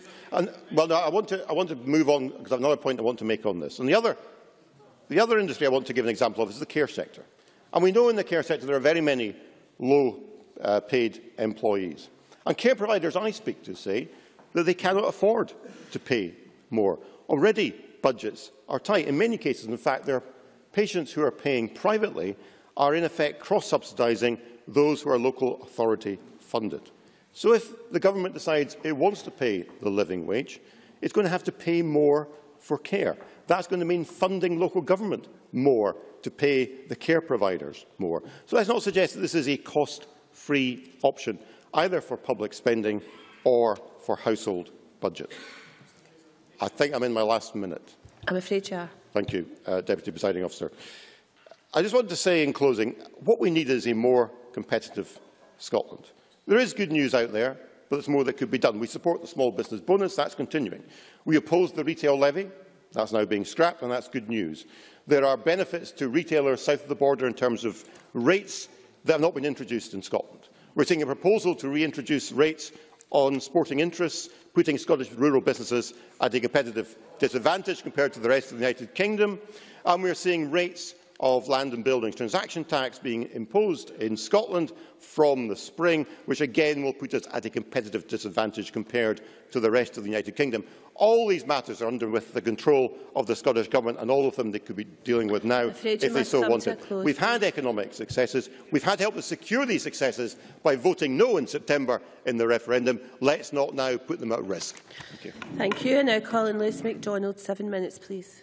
Thank you very much. This debate has been wide-ranging, as a debate on the economy should be, but I want, in closing for Labour, to come back to the critical issue of the challenges facing our oil and gas industry, the single most urgent, immediate issue facing the Scottish economy today and entirely absent from the Scottish Government's motion on boosting the economy.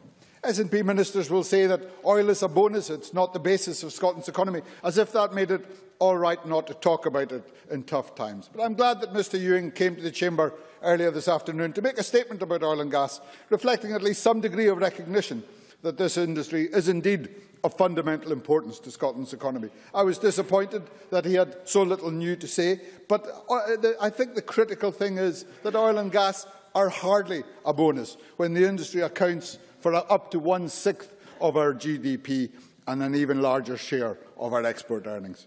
50,000 men and women work offshore in what can be one of the toughest working environments in the world, especially on a night like tonight. And many thousands more earn their living in the oil and gas industry onshore, onshore and tens of thousands of jobs depend indirectly on the boost to the economy Minister. from oil and gas. Well, I'm very grateful for Lewis MacDonald giving way. To make progress, can I ask, will Labour support the tax reforms that we have brought forward today and which we believe should be implemented in the March UK budget?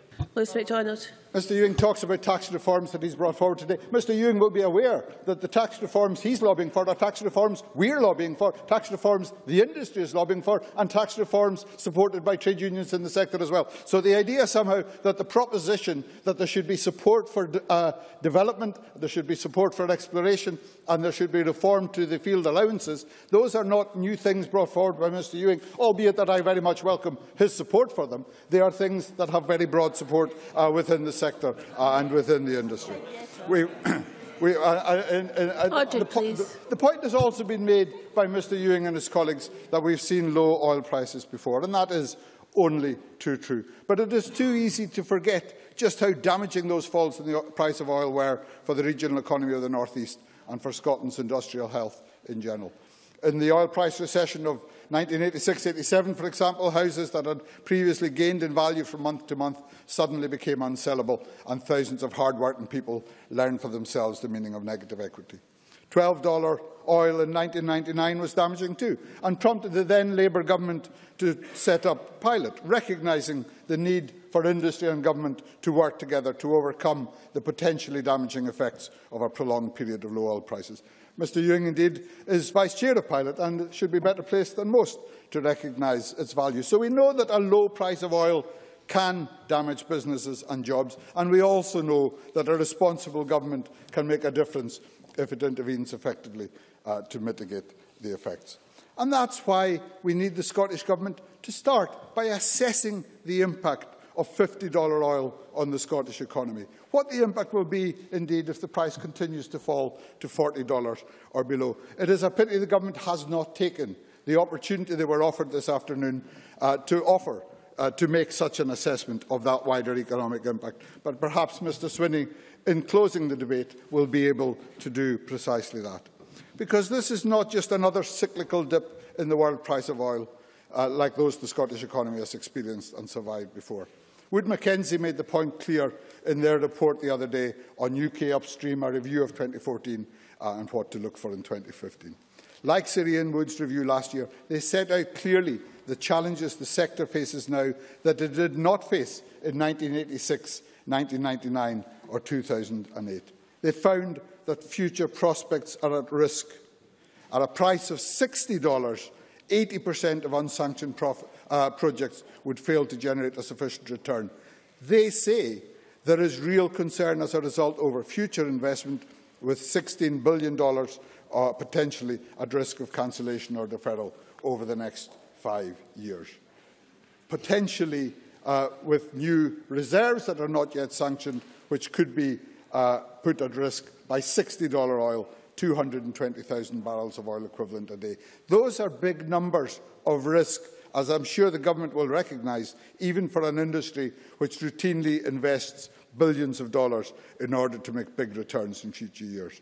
Because we no longer see a rising graph of production from the, from the North Sea, or indeed any realistic prospect of net production going up. A whole series of decisions are being made now in boardrooms around the world about whether to continue to produce from fields which are in any case uh, in the latter part of their productive life. We know that at least 30 existing fields in the North Sea require an oil price of $50 or more in order to be profitable. If they are not profitable, they will close down, and once a field has been decommissioned, there is no going back. So we need to intervene, and of course it's right to say that part of that intervention has to be fiscal. But we also need to intervene uh, in the economic impact of changes uh, in the oil industry of the type that we are looking at today.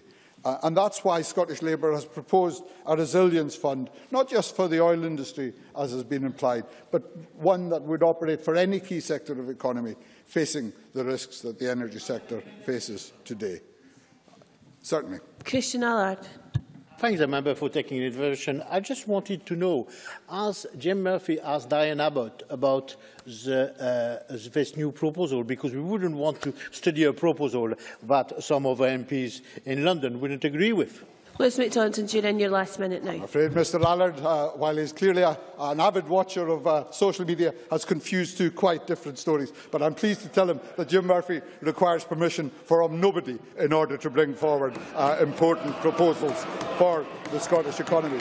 What I want to know today is whether John Swinney has, uh, in the last couple of hours, secured permission from Nicola Sturgeon to agree to the proposal for a resilience fund to support sectors of the Scottish economy under pressure. Because if he does so, then we will be very uh, happy to hear that assurance from him today. But our challenge to the Scottish Government is to begin to take this crisis seriously, to recognise the fundamental importance of oil to the Scottish economy and to get on board with all of those who are calling for urgent action to save businesses and jobs. And it means being serious about being prepared to work with other parties, not just talking the talk, but walking the walk, and they need to get on and do that now.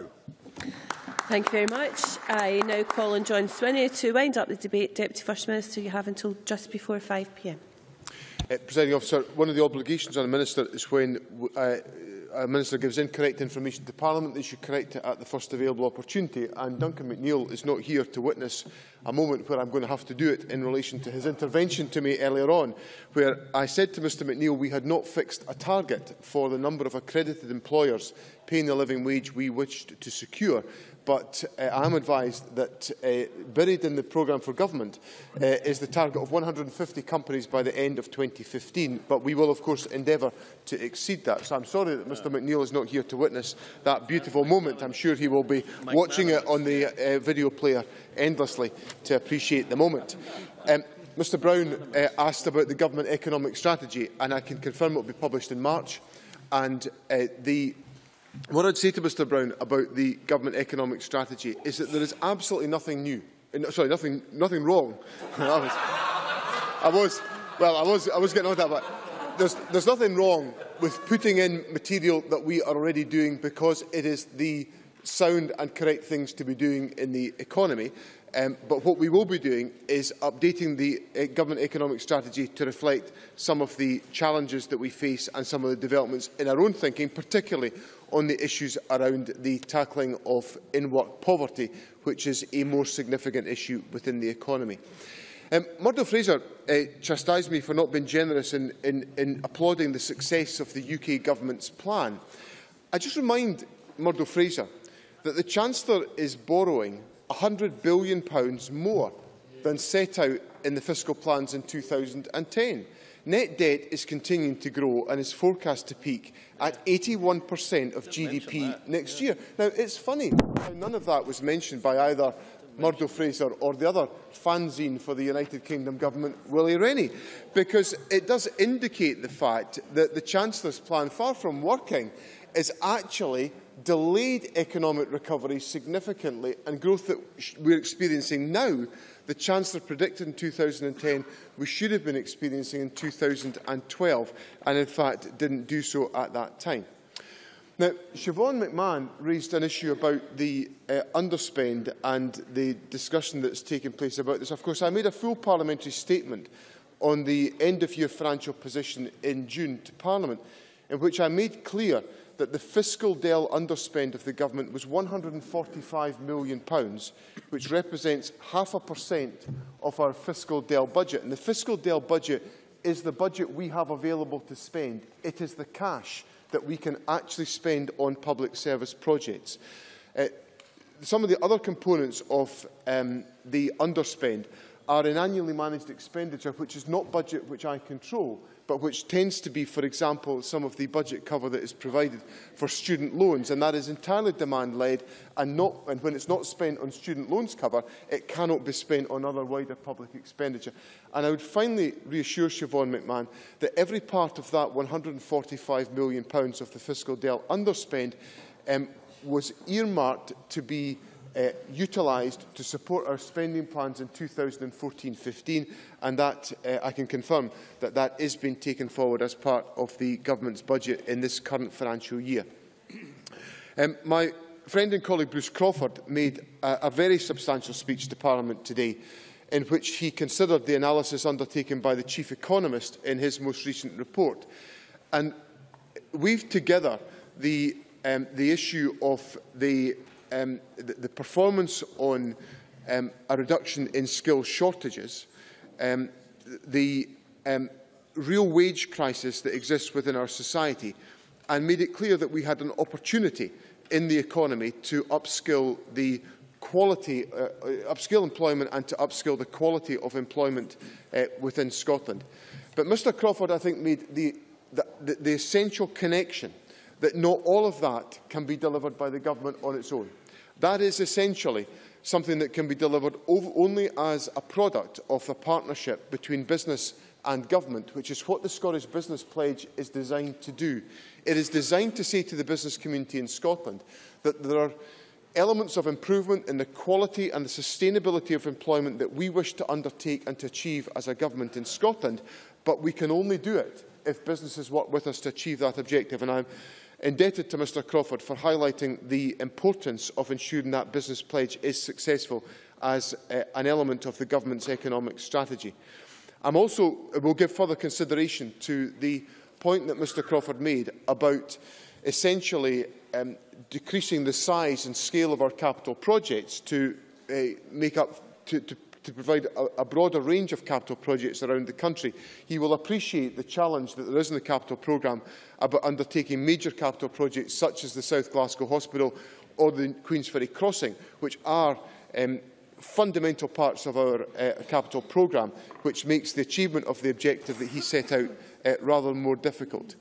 My colleague, uh, friend Linda Fabiani, also made the point about the which is similar to the point Mr Crawford was making about the partnership that's necessary in our economy between government, trade unions and business to achieve shared objectives. And I want to say that one of the important elements of the government's policy-making framework is the way in which we um, regularly are in dialogue with both the trade union movement through the biannual meetings between the First Minister and the trade union movement, which have been consistent since 2007 in the election of this government, and the regular dialogue that takes place with business organisations in Scotland to try to encourage the creation of a shared agenda between uh, the government, trade unions and the business community to, to achieve our objectives and that will be essential in achieving some of the points on the uh, Scottish Business Pledge to which I referred earlier.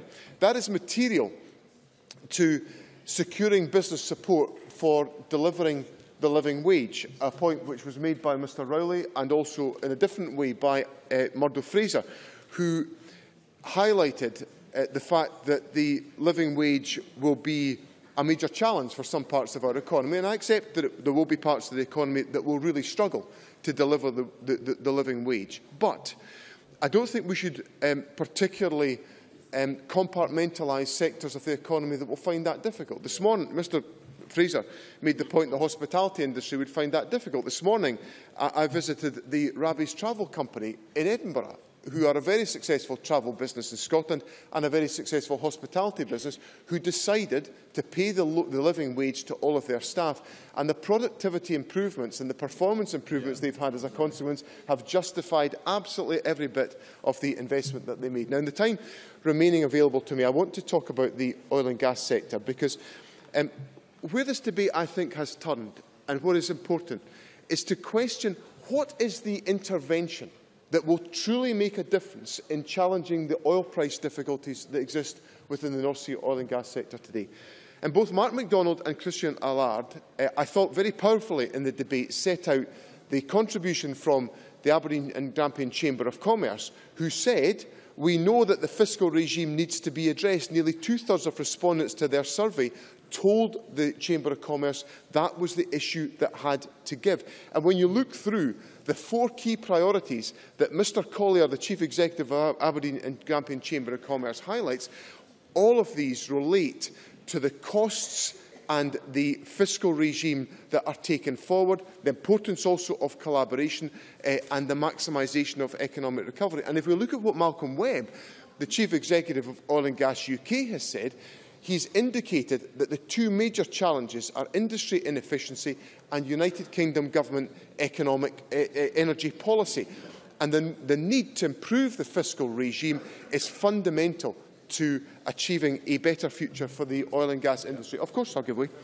I'm, I'm very grateful to Mr Swinney. Will he also acknowledge that what Malcolm said this week was that given the need for the industry to urgently reduce its own costs and increase its efficiency, Jim Murphy's proposal to introduce a resilient fund which can be used by local authorities to help those affected by adverse conditions, economic conditions, seems Quickly, sensible. please, Mr And if Malcolm Webb thinks that that seems sensible, can the Scottish Government not at least to agree to assess uh, its Mr potential MacDonald, impact John Swinney, you area? must draw to a close, please. Uh, I, I, I, will, I will draw to a close uh, simply by saying that um, Jackie Baillie um, has indicated to us that setting up an oil fund will take money from public services, so it's a rather remarkable co uh, con uh, change in position we've had from the Labour Party. This government recognises the significance Order, please. and We're the now of importance of the oil and gas industry to Scotland. We will take forward all of the interventions that we can within our powers, stewarded by Mr Ewing, who puts in a power of effort to, to, uh, to, to take forward dialogue with the oil and gas industry. But the key difference that will, that will make all of the impact for the oil and gas industry is an improvement in the fiscal regime of the United Kingdom Government, and we ask them to take that forward now. Thank you. That concludes the debate on boosting the economy. and it's now time to move on to the next item of business. And I remind members that a revised version of Section A of today's uh, business bulletin uh, was issued earlier today and it includes Parliamentary Bureau motions on committee membership and substitution on committees. The next item of business is consideration of four Parliamentary Bureau motions and I ask Joe Fitzpatrick to move motions number 12011 and 12012 on committee membership and motions number 12013 and 12014 on substitution on committees on block, please. Moved on block. Many thanks. The question on these motions will be put at decision time, to which we now come. There are four questions to be put as a result of today's business.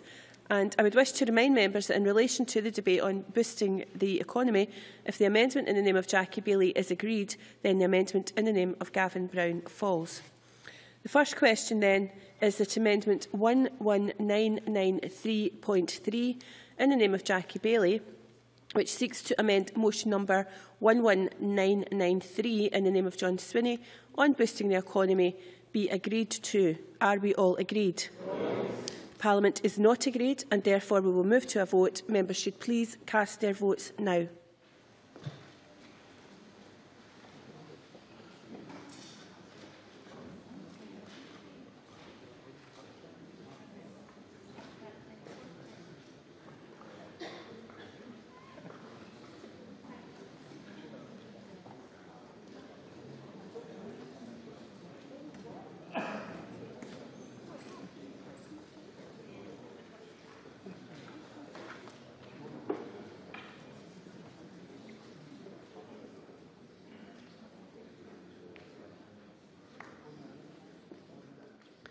The result of the vote on amendment number 11993.3 in the name of Jackie Baillie is yes 31, no 64. There were 15 abstentions. The amendment is therefore not agreed to. The next question is at amendment 11993.4 in the name of Gavin Brown, which seeks to amend motion number 11993 in the name of John Swinney on boosting the economy. Be agreed to. Are we all agreed? Parliament is not agreed. Therefore, we will move to a vote. Members should please cast their votes now.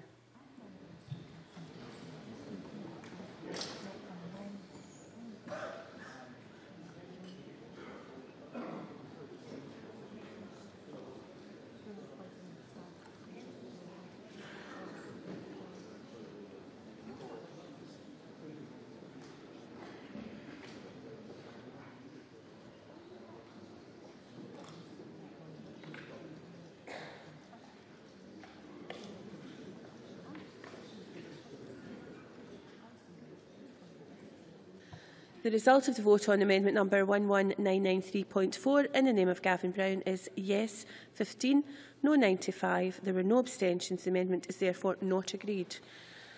That then brings us to the next question, which is that motion 11993 in the name of John Swinney on boosting the economy be agreed to. Are we all agreed? Yes. Parliament is not agreed and therefore we will now move to a vote. Please cast your votes now.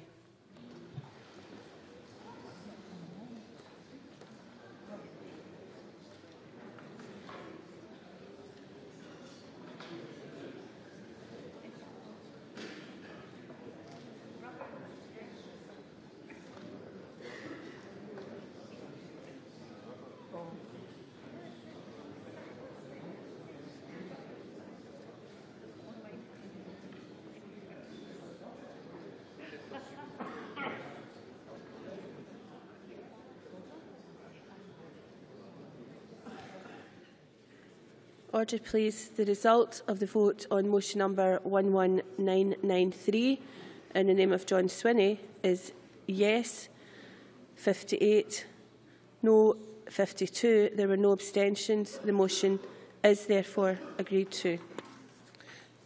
That then brings us to the fourth question, and I propose to ask a single question on motions number 12011 to 12014 on committee membership and substitution on committees.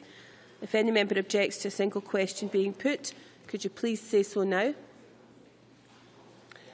Since no member has objected, the next question then is that motions 12011 to 12014 in the name of Joe Fitzpatrick on committee membership and substitution on committees be agreed to. Are we all agreed? Yes. The Parliament uh, is agreed and that therefore concludes decision time and I now close this meeting.